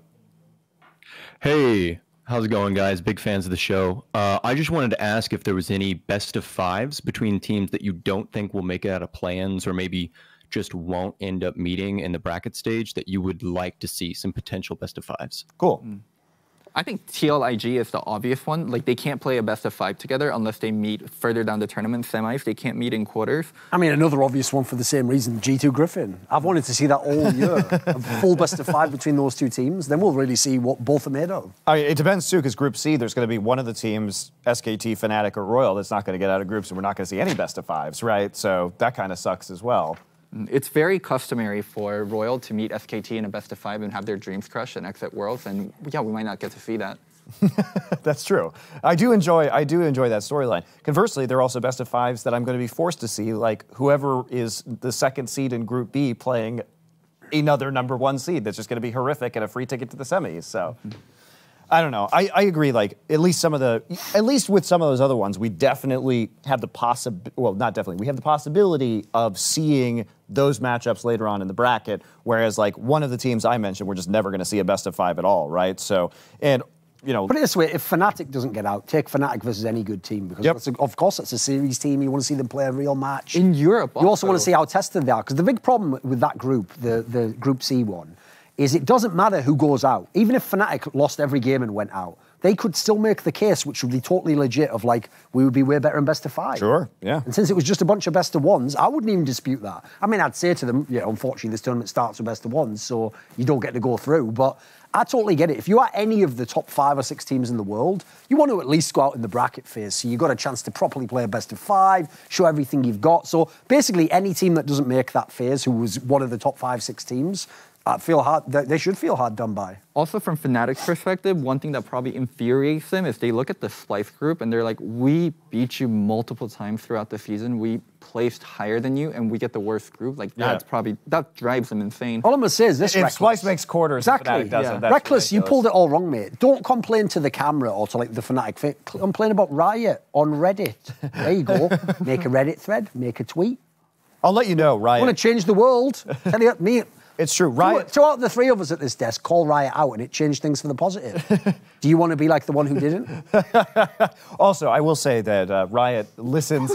what? Sorry, I was just, I was just fly with me or. Sorry. I will say that Riot does listen to Reddit way too much. Way they put so much stock in it, guys. It's ridiculous. You just know they used to watch someone in Insight. They'd probably be really mad. Oh, they, they were. They were. They'd go, this They were. stinks. They still are. And then one of the other guys would go, oh, was it, sorry, I, I had one of the uh, interns in earlier. And they go, no, no, this show. Oh, right, sorry. oh, God, Duncan. All right, enough of that. Uh, Prador. Hello, Prador. What's your question? Hello. Many analysts describe Tarzan with similar ways as Clear- Clearlove was described in his time. Farms well, great at team fights, mostly counter ganks. Do you think that he should be more proactive in early game where at international level where it's harder to get leads in lanes alone without your jungler? Fair enough. I mean, you were talking about this earlier that Tarzan did have an early game plan in some of their matches. Just because it was, I, I found it a bit tough to hear the accent, but that the premise was, right? Yeah. Tarzan from Griffin, he said was something like, is a bit like how people characterize Clear Clearlove as a farming team. Because yes, he was the guy where people say he didn't ever gank and he just farmed up and then was, a, was another Carry. in the team fight. Is that, that the entire premise? Yes, and and like, does he asked, does it? Do we think that that's a liability more or less at the World Championship? But you know, from the games that we've seen so far, I would say Tarzan's actually been quite active in the early game compared to his reputation coming into coming into Worlds. Yeah, the Taliyah game, the league game, he was active in both, so it's hard to call him out on it yet. But I think we are gonna. I mean, we have to see more games. We've only we haven't seen that many games, like two games per team, three games per team. Yeah. Oh, would Only Group say- D have we seen. What I would say is this: the the key distinction here, and I'm not calling this particular person out, but whenever you have what's like an easy narrative like that, well, this person is kind of like this person. Like when we made the contrast of Doinb and High.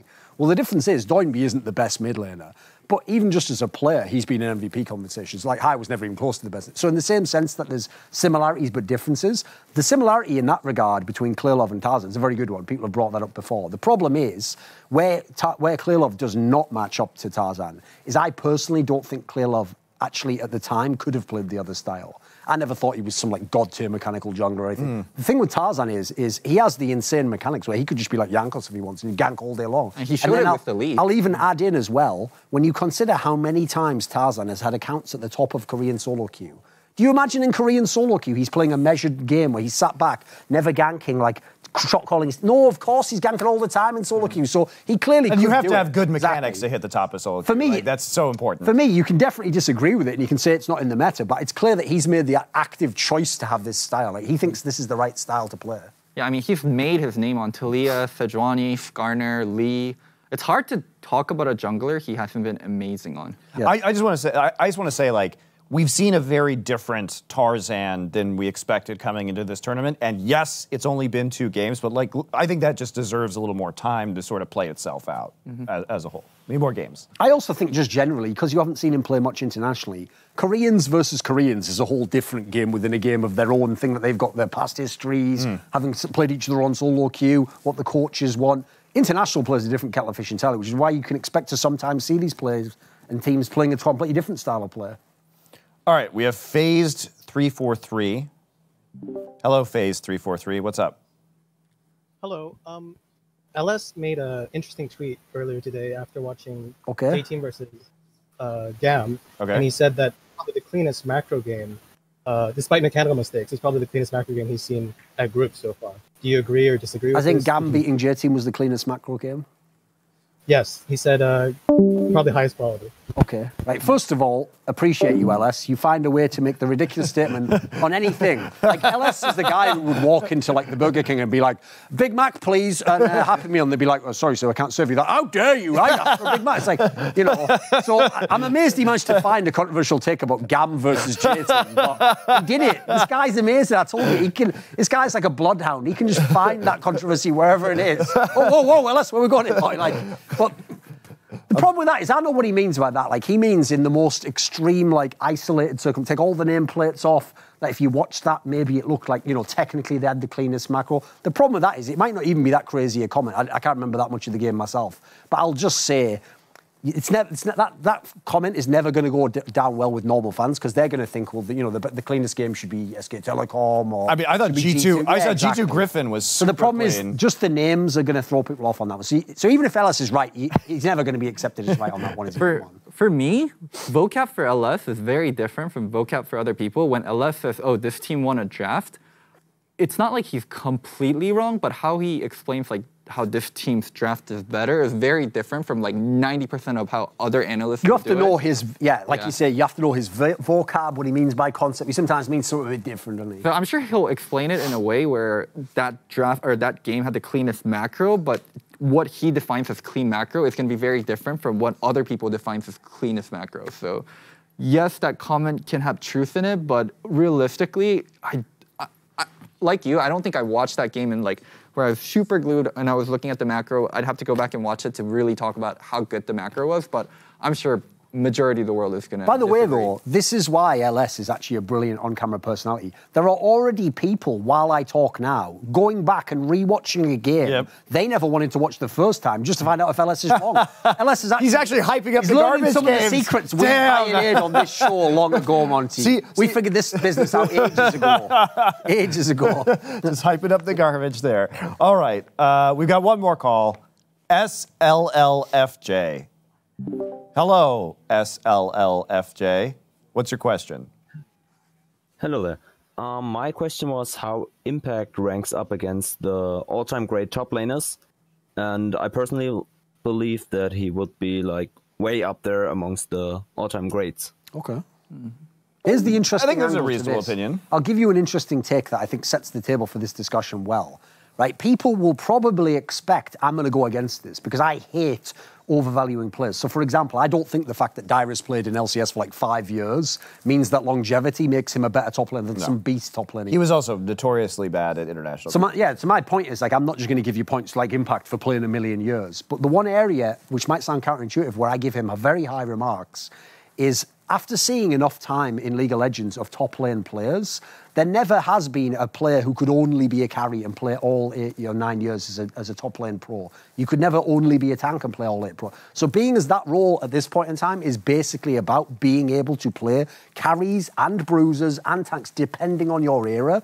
I think you should judge top laners based on both when they get the resources and they're the carry and when you play away from them and they're not. Hmm. Now the point here is Impact scores very highly on the latter. When you play away from him, it's, he literally has made a career from that. He's a great His office is having a slightly losing matchup, not losing as much as he should, and then doing something in a team fight. Like that is amazing. And so there's so few players who are really actually have been at a world class low economy who did that. Yeah, Yeah, yeah. like you're very rare example. Odoamne in Europe. You know, there's not many that have been top players. So while I, I can't ever say he's like the best top, top laner because I'd have to go with the carries. I'd have to go with the Smebs, the Shy, Flame. These players obviously at the at their peak. If you build a team around them, are the best.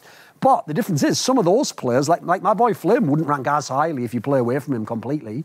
So I, I think like Impact's kind of deceptively high up on that list. You know. I also think Impact is having a very good world so Sure. far. I mean, we look, we literally look at his performances, and we're like, oh, okay. So against Dom, uh, against Damwon, he was doing super well and got the, you know, got the big hits on the Aatrox versus the Vlad that helped him win the game. I don't think the Gangplank game was his fault because what happened in that game was. They lost vision control, and you just can't play into into darkness with Gangplank if you're not setting up your barrels. So it's kind of whatever. And then the other game, he basically saved against AHQ by Trip, yeah, by getting the 1v3 big, with yeah the one v three at the end of the game. So it wasn't his fault they were behind, and he saved their bacon in many ways. So I think he's having a very good world so far. So there's very easy storylines. Like player A does really well in regular season and bombs in playoff. Player B has a very quiet regular season and ramps up for playoffs. Impact has always been player B. Yeah. He gets underrated compared to player A. And player A, like a really good example of it is Huni. This is amazing in regular season, bombs in playoff a lot of Mm. times. And if you ask a casual fan who's better, Impact or Huni, I think most would side with Huni. And Huni gets all the resource, Huni gets all the attention. And so, yeah, he's decorated, where Impact is a quietly good player. The things that Impact does well, he TPs better than other people. As you talked about, he loses better than other people. And that's not something very flashy, and that's not something people like talking about, so he's not going to get as much attention and as much recognition.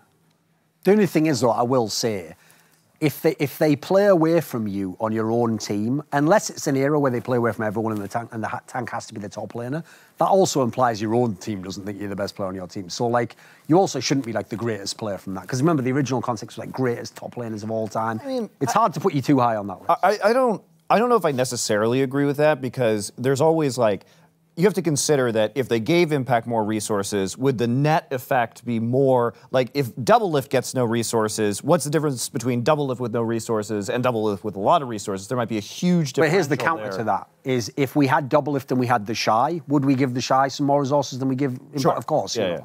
That's so, fair. So, so on the other side, I'm also not going to go too far and boosting from that. So if you want to go top greatest players ever, when you consider longevity, championships around all regions, again playing through bad metas and against overperforming against players, he's definitely on the list. Like if we're talking like top 20 top players, he's easily on that list. Also, I'd say top 10. Yeah. You, it's just the difference is he's not going to be competing with Smeb and them for the top of the list. You know. Also, Impact went to NA and he didn't shrivel. So many players like make their careers in Korea, they come to NA or they go to Europe and they shrivel, and Impact actually flourished in NA as a Well, my import. favourite one is that now, obviously, Impact is a resident player, right? So he no longer counts as an, as an import. Yep. I tell you one team who certainly themselves bought into a narrative too much, Cloud9.